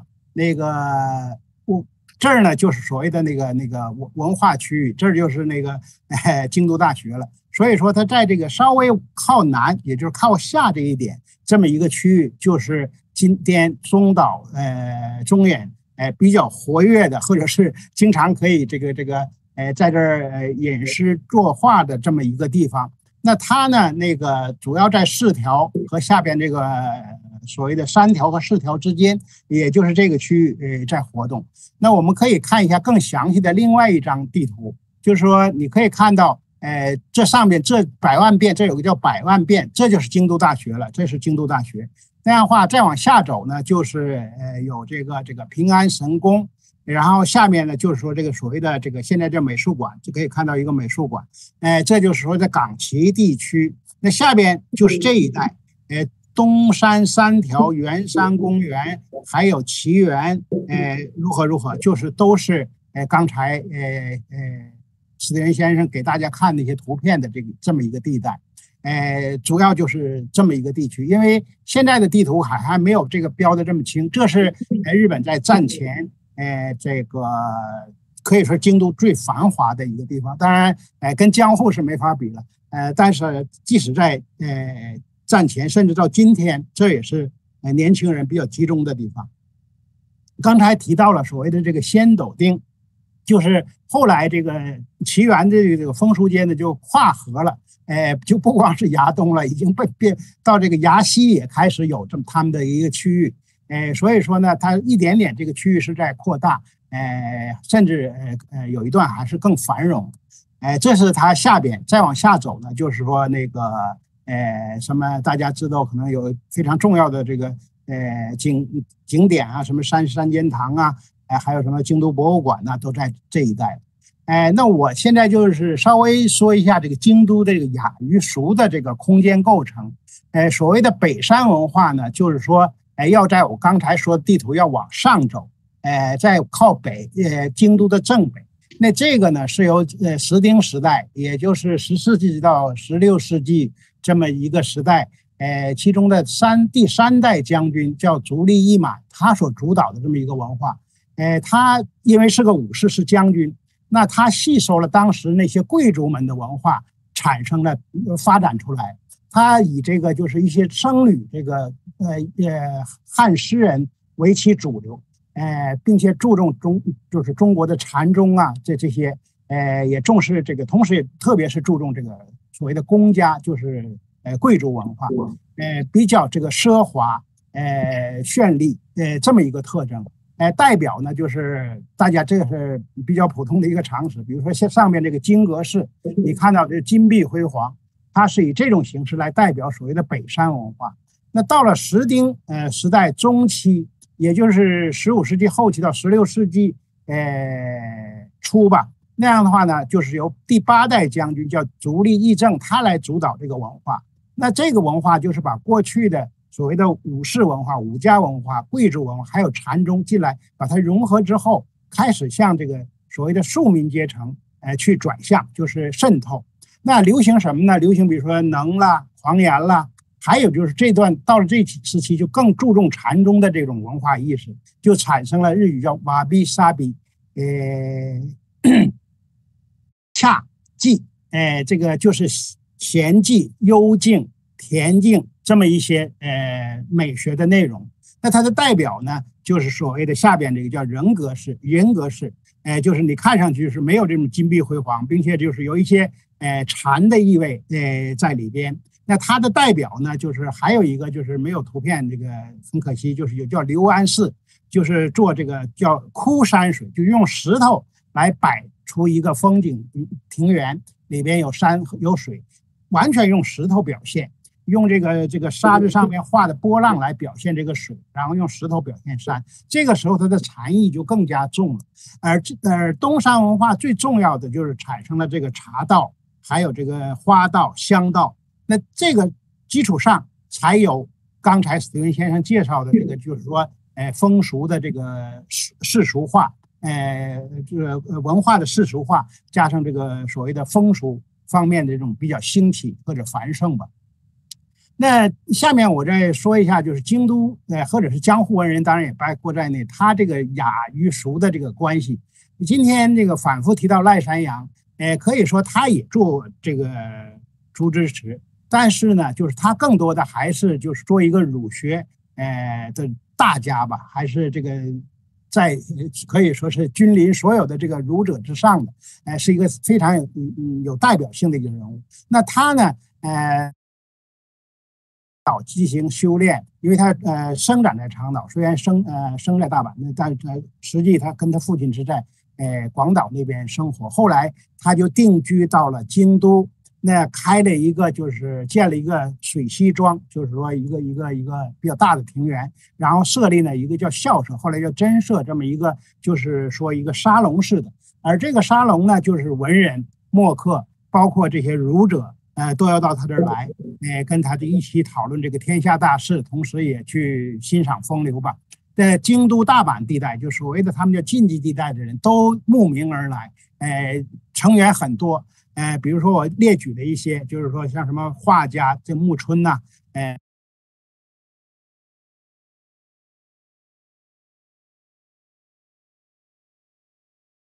儒学者，哎，就是所谓的儒学的这个比较大的重要人物吧，叫小齐了，还有荷兰作为一个。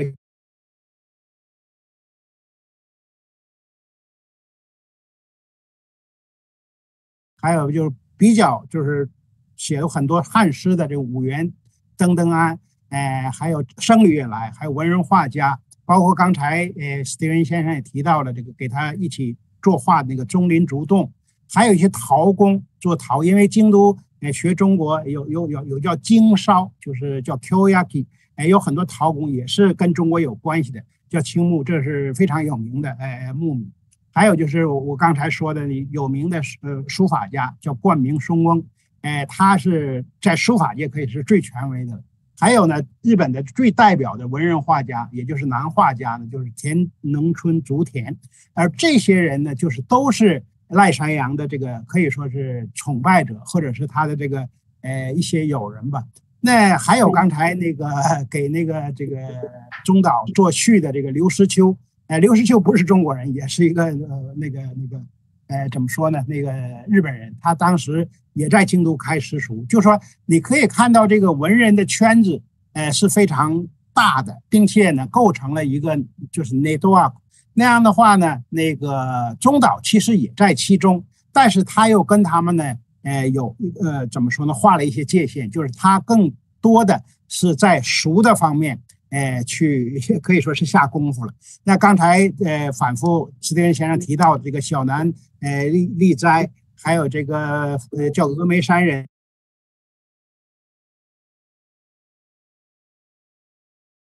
那可以看到他接触的这些呃江户来的诗人也有这么两面，就这个梁传新言呐，还有和菊池武。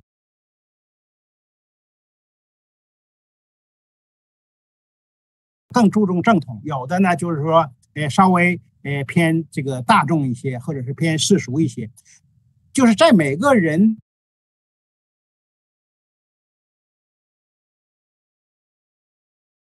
跟京都的这个怎么说呢？这个两个雅和雅和俗的空间构成，我觉得是有关的。他们身处于这个就是两个这个交界地，有的时候呢。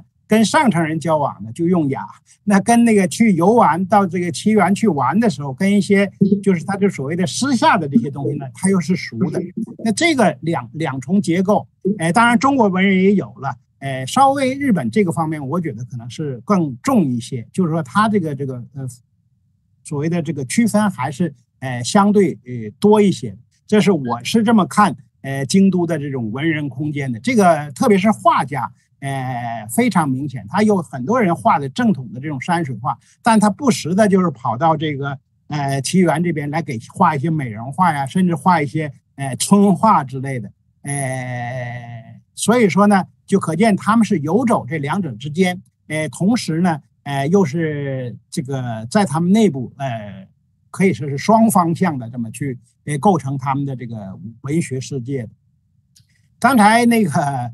呃，史天先生提到一个字，就是孔子。大家知道不？是说，呃，所有东西都在孔子。哎，就是那个一边读读儒，呃呃，这个呃四书五经，一边还要跑到奇缘去。然后这孔子都在其内，是不是有那么一句话？什么叫孔子呢？孔子跟日本的这个窗户是一个发音，窗户发音叫格子，就是呃格子的方格子的格子。那格子是什么呢？就是这个，这格子呢，外边就是说所谓的奇缘的世界，那进去之后就是所谓的这个风俗、这个风流的天地了。所以说呢，所以是不管你读读圣经、读圣书，还是你如何如何，最后呢，孔子和这个格子是 都在这里边的，就都呃相通的或者相共，这才是中岛所追求的。呃，一个呃，或者是他们这些衙属，呃，共通的这么一个世界，这是我是这么理解。还有刚才史蒂文先生提到这个，就是跟这个呃呃这些艺妓们游玩，呃，用这个海带来呃打结，然后表示男女之间之情，呃，就是要同结这个共心缘，还是呃怎么着吧？就是把两个结在一起，呃，变成一个纽带。这个所谓的这个。海带的这个接法呢，就是这样的，这是日本料理经常要出现的，就可见这个怎么说呢？这个中岛他是呃用这种小的道具来反映他跟这个这个所谓的艺伎啊，或者这种风流啊一种连接，然后用这个来去哎做一个小的情趣。呃，去呃怎么说呢？去表示他的表现他这个诗的这个有趣性和他这个这个世俗性。那还有就是今天这个其实呃，史德云先生这个讲演中提到了大量的这个就是跟中国中国文人的这个关系。呃，这个就要强调就是东亚文化圈，我也觉得就是它是一个可以说是把这个。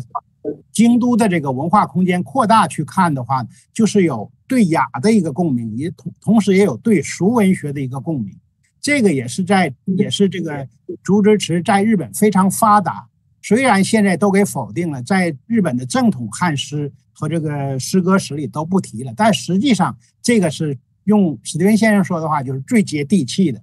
你可以看到提他里提到了很多很多人的名字，就是可见他对古今的这种文人。他都有一种对熟的这种共鸣，包括这个对地点，包括有歌唱很多西湖的东西被引用，还有秦淮河的东西被引用。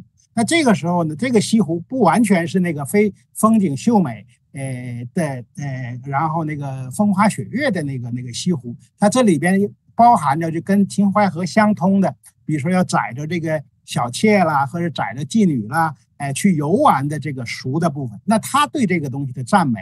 这个是在日本这个所有的文人中，很多文人中都有这个共通性的，包括近代的，比如说叫古崎润一郎，他就专门去到这个秦淮河去探访，还专要坐那个朱家船，哎，所以说呢，当时那个中国不是那么小了，当然中国是画法，他专去寻找画法，然后呢载上几个女性孩女孩子，然后去游玩这个这个秦淮河，就是可见过去来不了中国的人，他们是在这个诗歌中去去。对这个熟的这种向往，那到了近代可以旅游了，他们就可以到了 中国去真呃呃呃实地的去去考察去欣赏。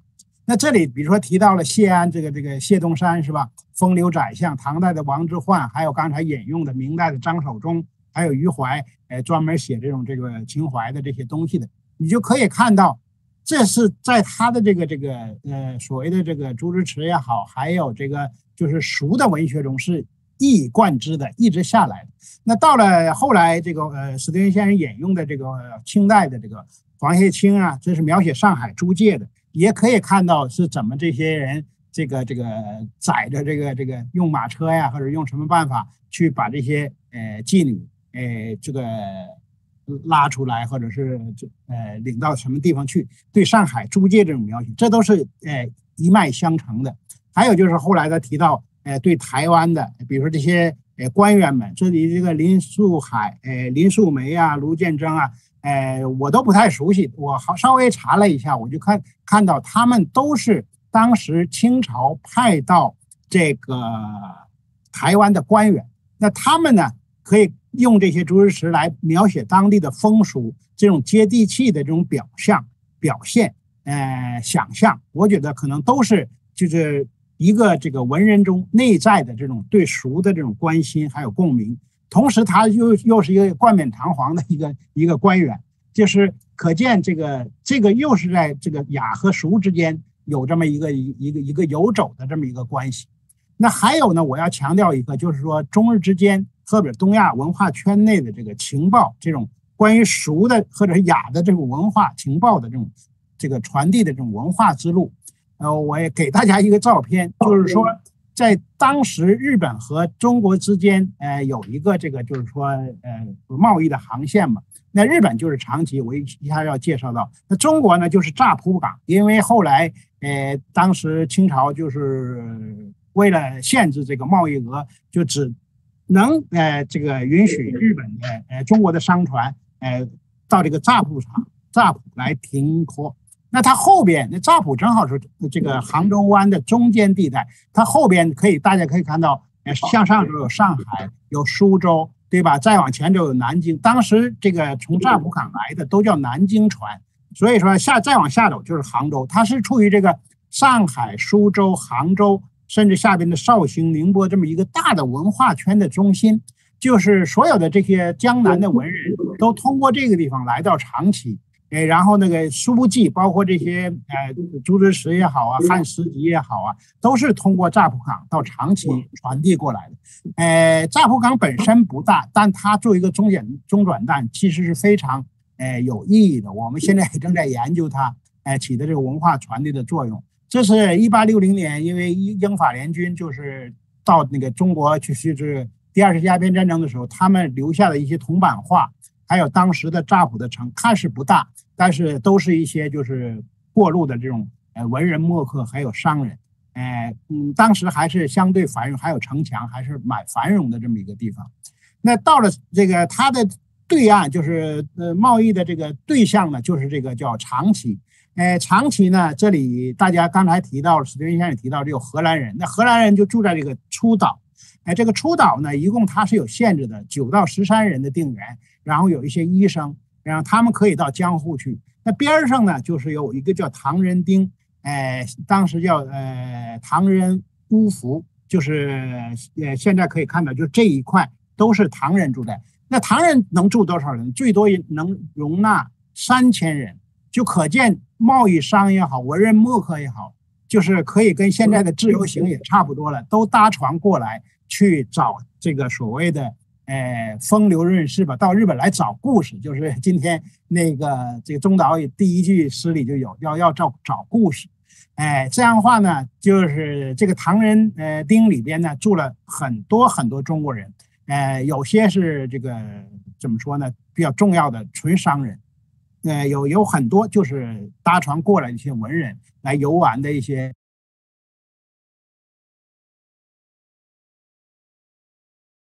在这儿请这些 妓呃艺妓们来吃吃喝，哎，来玩来教呃一起这个游戏，比如下边他们一起跳这个舞，呃，这个其中大家可能有个歌叫《茉莉花》，当时已经是长期非常流行，就是那个茉莉花茉莉花的那个。大家都唱那首，他们一边唱着《茉莉花》，一边跳舞。还有个叫《九连环》，这两个歌特别有名。那可以看到，当时这些这个文人们到这儿来，一个是招妓，一个就是什么，在这里是斗鸡的，做什么的，就是做这些中国式的这种游戏。这个都跟日本的文人有相通的地方。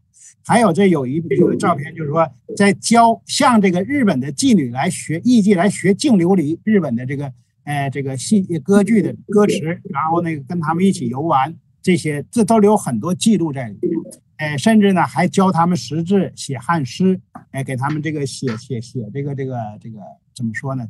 呃，诸事实事的东西来表扬他们，哎，这都都是很有趣的事情的交流吧。那到长期来的，我把只把画家拿出来了，文人他们都是文人加画家。我看刚才看到的什么，我刚才说了这个浦上春琴啦，还有冠名松翁啊，啊这些人，哎，甚至一些这个这个都是一些有名的诗人兼画家，还有一些是儒学家。他们到这儿来呢，就跟中国人交流，哎，写了这些这个就是说也是竹枝词似的，就是可以说是这个比较比较这个，哎。接地气的这些诗歌吧，哎，来跟他们交流，这留下了也很多记录。这个也是我们这个研究的课题之一。在什么地方交流呢？这是有一个最大的一个，哎，就是他们叫 Yukaku，也就是风流的场所吧，我们叫红灯区，哎，就叫长崎丸山，哎，花月楼。这里边很大规模，你可以看到这多大的规模。这样话，里边有专门接待中国文人墨客的地方，哎，现在也。这个这个这个现在是一个料理呃的饭店了，就是说也留着，是叫辽泰呃料亭。那里边呢，就是可以看到，这是他们一边呃跟文人墨客交流，一边唱歌，一边还更重要，在这举办诗歌，还有这个特别是绘画的这个展览会，哎，把日本的、中国的这些文人的文人画呀都集中在一起来，一起呢开展览。这个可能是东亚，可能是最。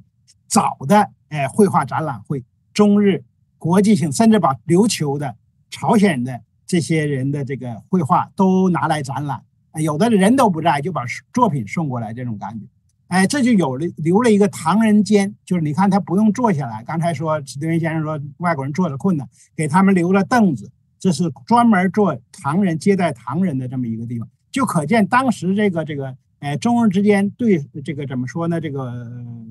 对象的这个交流是很频繁的，并且他们能接触大量的中国的这个关于俗文化，特别是通过这个艺伎啊这些这个这个他们叫游礼，呃这些呃地点的这么一些交流吧。啊，最重要这个诗文实在不好，也就是赖山羊，哎，他虽然是作为一个日本的最大的一个诗人，呃，汉语学家，但是他也带有长期，并且那个做了四四呃四十二首汉诗，呃，想找中国人去交往，结果这个中国人呢，这个呃当时不在，他向往那个文人不在，他就跟这个人的这个日本小妾，呃交流，然后这个预约如何如何见面。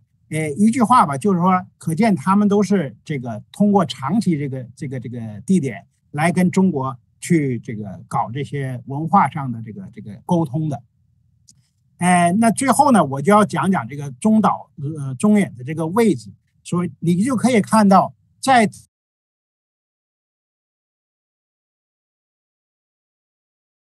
这个重要性就凸显出来了，而在呢。战后，特别是这种，所以说西方文化这种合理性啊，刚才史蒂文先生也说了，就是对这个雅的东西更重视的时候呢，就把这个俗的东西呢，就给可就隐蔽下去了。那今天呢，史蒂文先生呢，就把这个位置重新找出来，哎，特别他后后半部对这个理论上的这个解释，就是说，呃，对这个诗歌为什么重要的这个解释，也就是说，在理论上呢，有一个呃升华。哎，这种对青楼的这种表现呢，其实它是可以说是非常接地气的，就是用我们现代话说，就是这种大众文化。这是我们也在推动的。就是他介绍这个社会学新方法了的时候呢，哎，提到了比如说对感情感史，哎，对生活史，对地方史，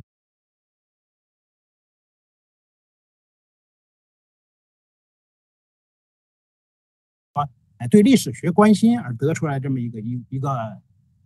怎么说呢？一个角度吧，呃，所以说呢，就是说不是叙述大的英雄史，而这英雄史内部的这个所谓的熟的部分，或者是在跟英雄对比的这个呃雅的文化对比的熟的文化的这个呃层面上，我们如何去挖掘，可能还是一个有待呃继续深挖的这么一个课题。更何况他最后提到就是东西的这个关系，就是东方和西方的这个，就是说，呃，特别东方文化的这种特点。呃，对这种就是接地气的这个文化的这种东西，可能需要去更呃去重视吧。还有就是，甚至可以上溯到采风啊，刚才他也提到了，呃，这些都给我们很大的参考。日文言呢，我在这个单位现在就是已经在一直在推进大众文化，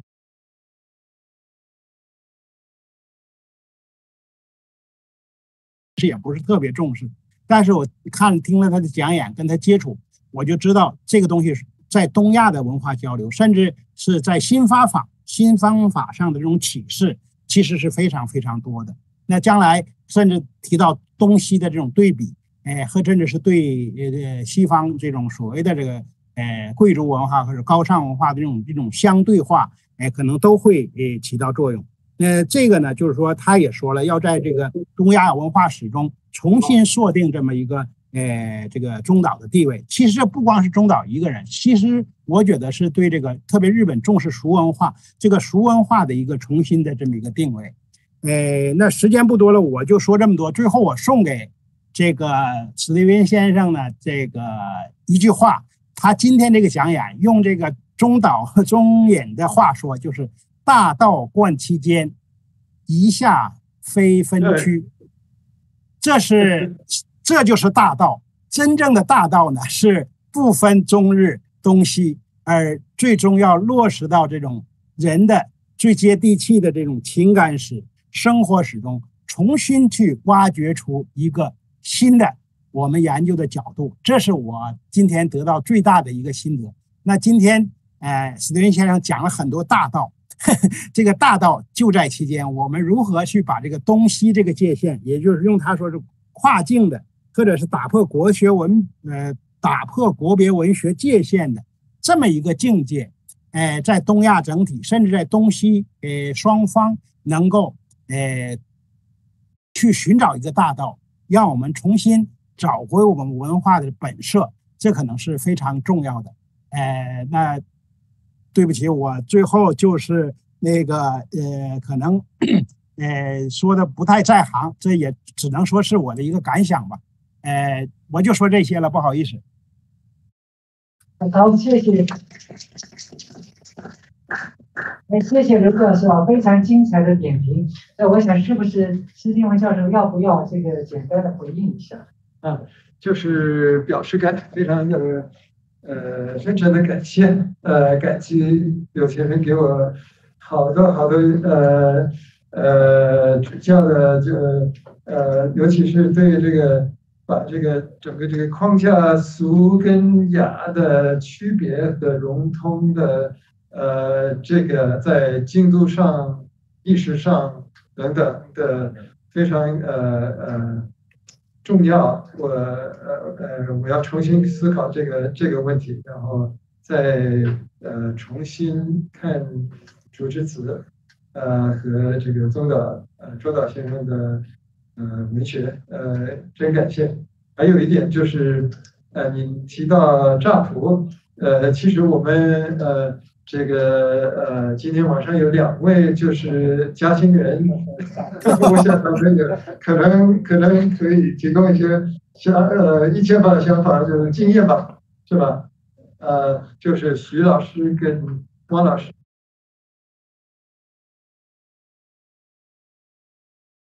丈夫朱之词的文章，呃，所以我对这个题目也是非常感兴趣，而且这也是可能就是一个。当时，呃呃，将楚之词从直接从乍浦那代传达到日本的一个呃途径吧。嗯，我我我刚才这这提醒一下，就就就是我突然想到那个刘禹锡啊，今天讲到的那个作之词，在周旁的那个著名诗人刘禹锡就出生在嘉兴。刘刘禹锡是嗯，真有意思。这个朱朱彝尊就是他那个对对，你要不要说说账？呃，我我说一下分享吧。因为我觉得，呃，岭南大学这个办学的宗旨是博养啊，博养教育。呃，今天史蒂文先生他这个呃这个大作里面的那个知识点信息量如此的密集啊。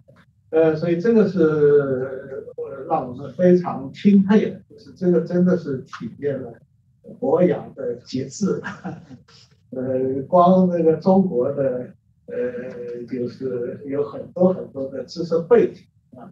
呃，他们刚才提到的，像呃这个做诗词的穗兰啊，那个杨铁牙也是我们的。我们浙江人，那个呃杨杨维珍他的这个全集呃出版，那个还有就是像那个朱彝尊啊，就是这个许安修那个那个那个地方的人啊，那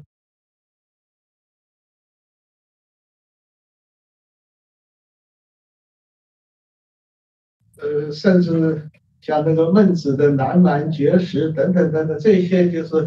我觉得作为一个中国学生啊，假如没有具备呃一定的这个国学基础啊，那个听起来也是呃不容易的啊。那史蒂文先生，我觉得他这个呃那么多的这个语学的呃修养啊，还加上这个对这个东亚的啊这个中国、日本、韩国呃那么广博啊渊博的。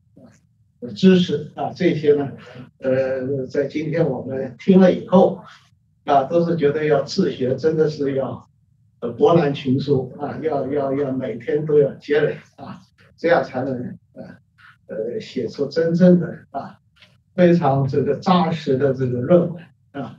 那么这个方法论上面对我们的启发，刚才呃刘建辉教授已经讲了啊，我也深有同感啊，对我们。以后自学写论文，我觉得这个角度啊，这个角度就是，呃，重视这一些，呃，这个不不太被人注意啊，这些材料啊，这个历史上的人物啊，我觉得 这个都是有大钱。那我不多讲，那个，呃，谢谢谢谢。好，谢谢汪老师。呃，因为时间实际上已经超过了，这个我看咱们。呃，要要不问一个问题吧？有问题吗？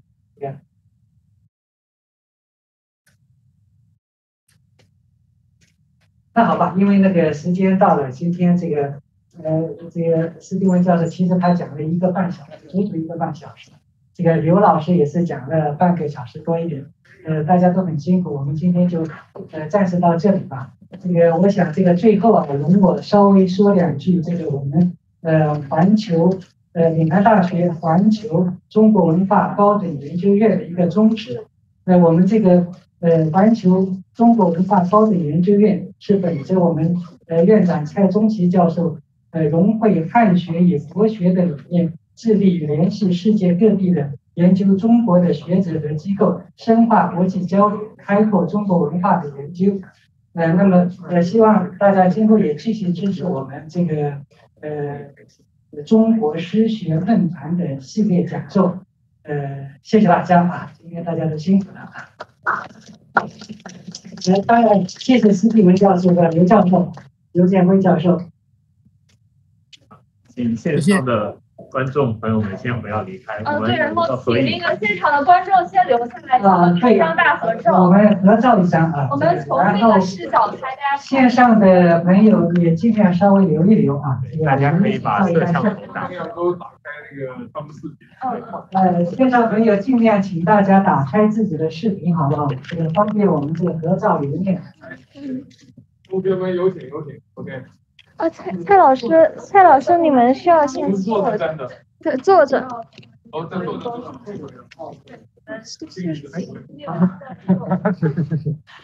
坐在。啊，坐着。可能同学同同同学们尽量往。大家打开摄像。请蔡教授来。不用。啊，没有什么。你们先先可能稍微往这边坐一我觉得，呃，斯蒂文教授呃比我，他毕业那一年我我入校啊，第二年。差不多对。哦，我是我是那个八七年，你是八九年毕业。呃，九零年。九零，我是九一年。这这个摄像头，蔡教授。来看这边，来准备，三，二，一。来个脱口罩行不行？可以可以，可可以。可以把口罩口罩脱掉。准备，三二一，好，谢谢。好，谢谢那个照网上的那个刘教授，对，他们那个。那那请那就请现场的教授到台前来，我们跟那个。好吧，那个我们后面的教授一起合个影。我们在旁边拍照。其他同学可以过来扫一下。我后面还有后面还有一台平板电脑，大家扫完码就可以离开了。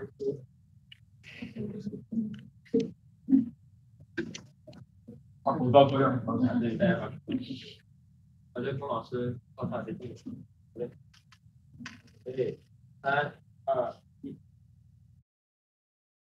到时记得把那个下面转给那个刘教授。好，来，三三二，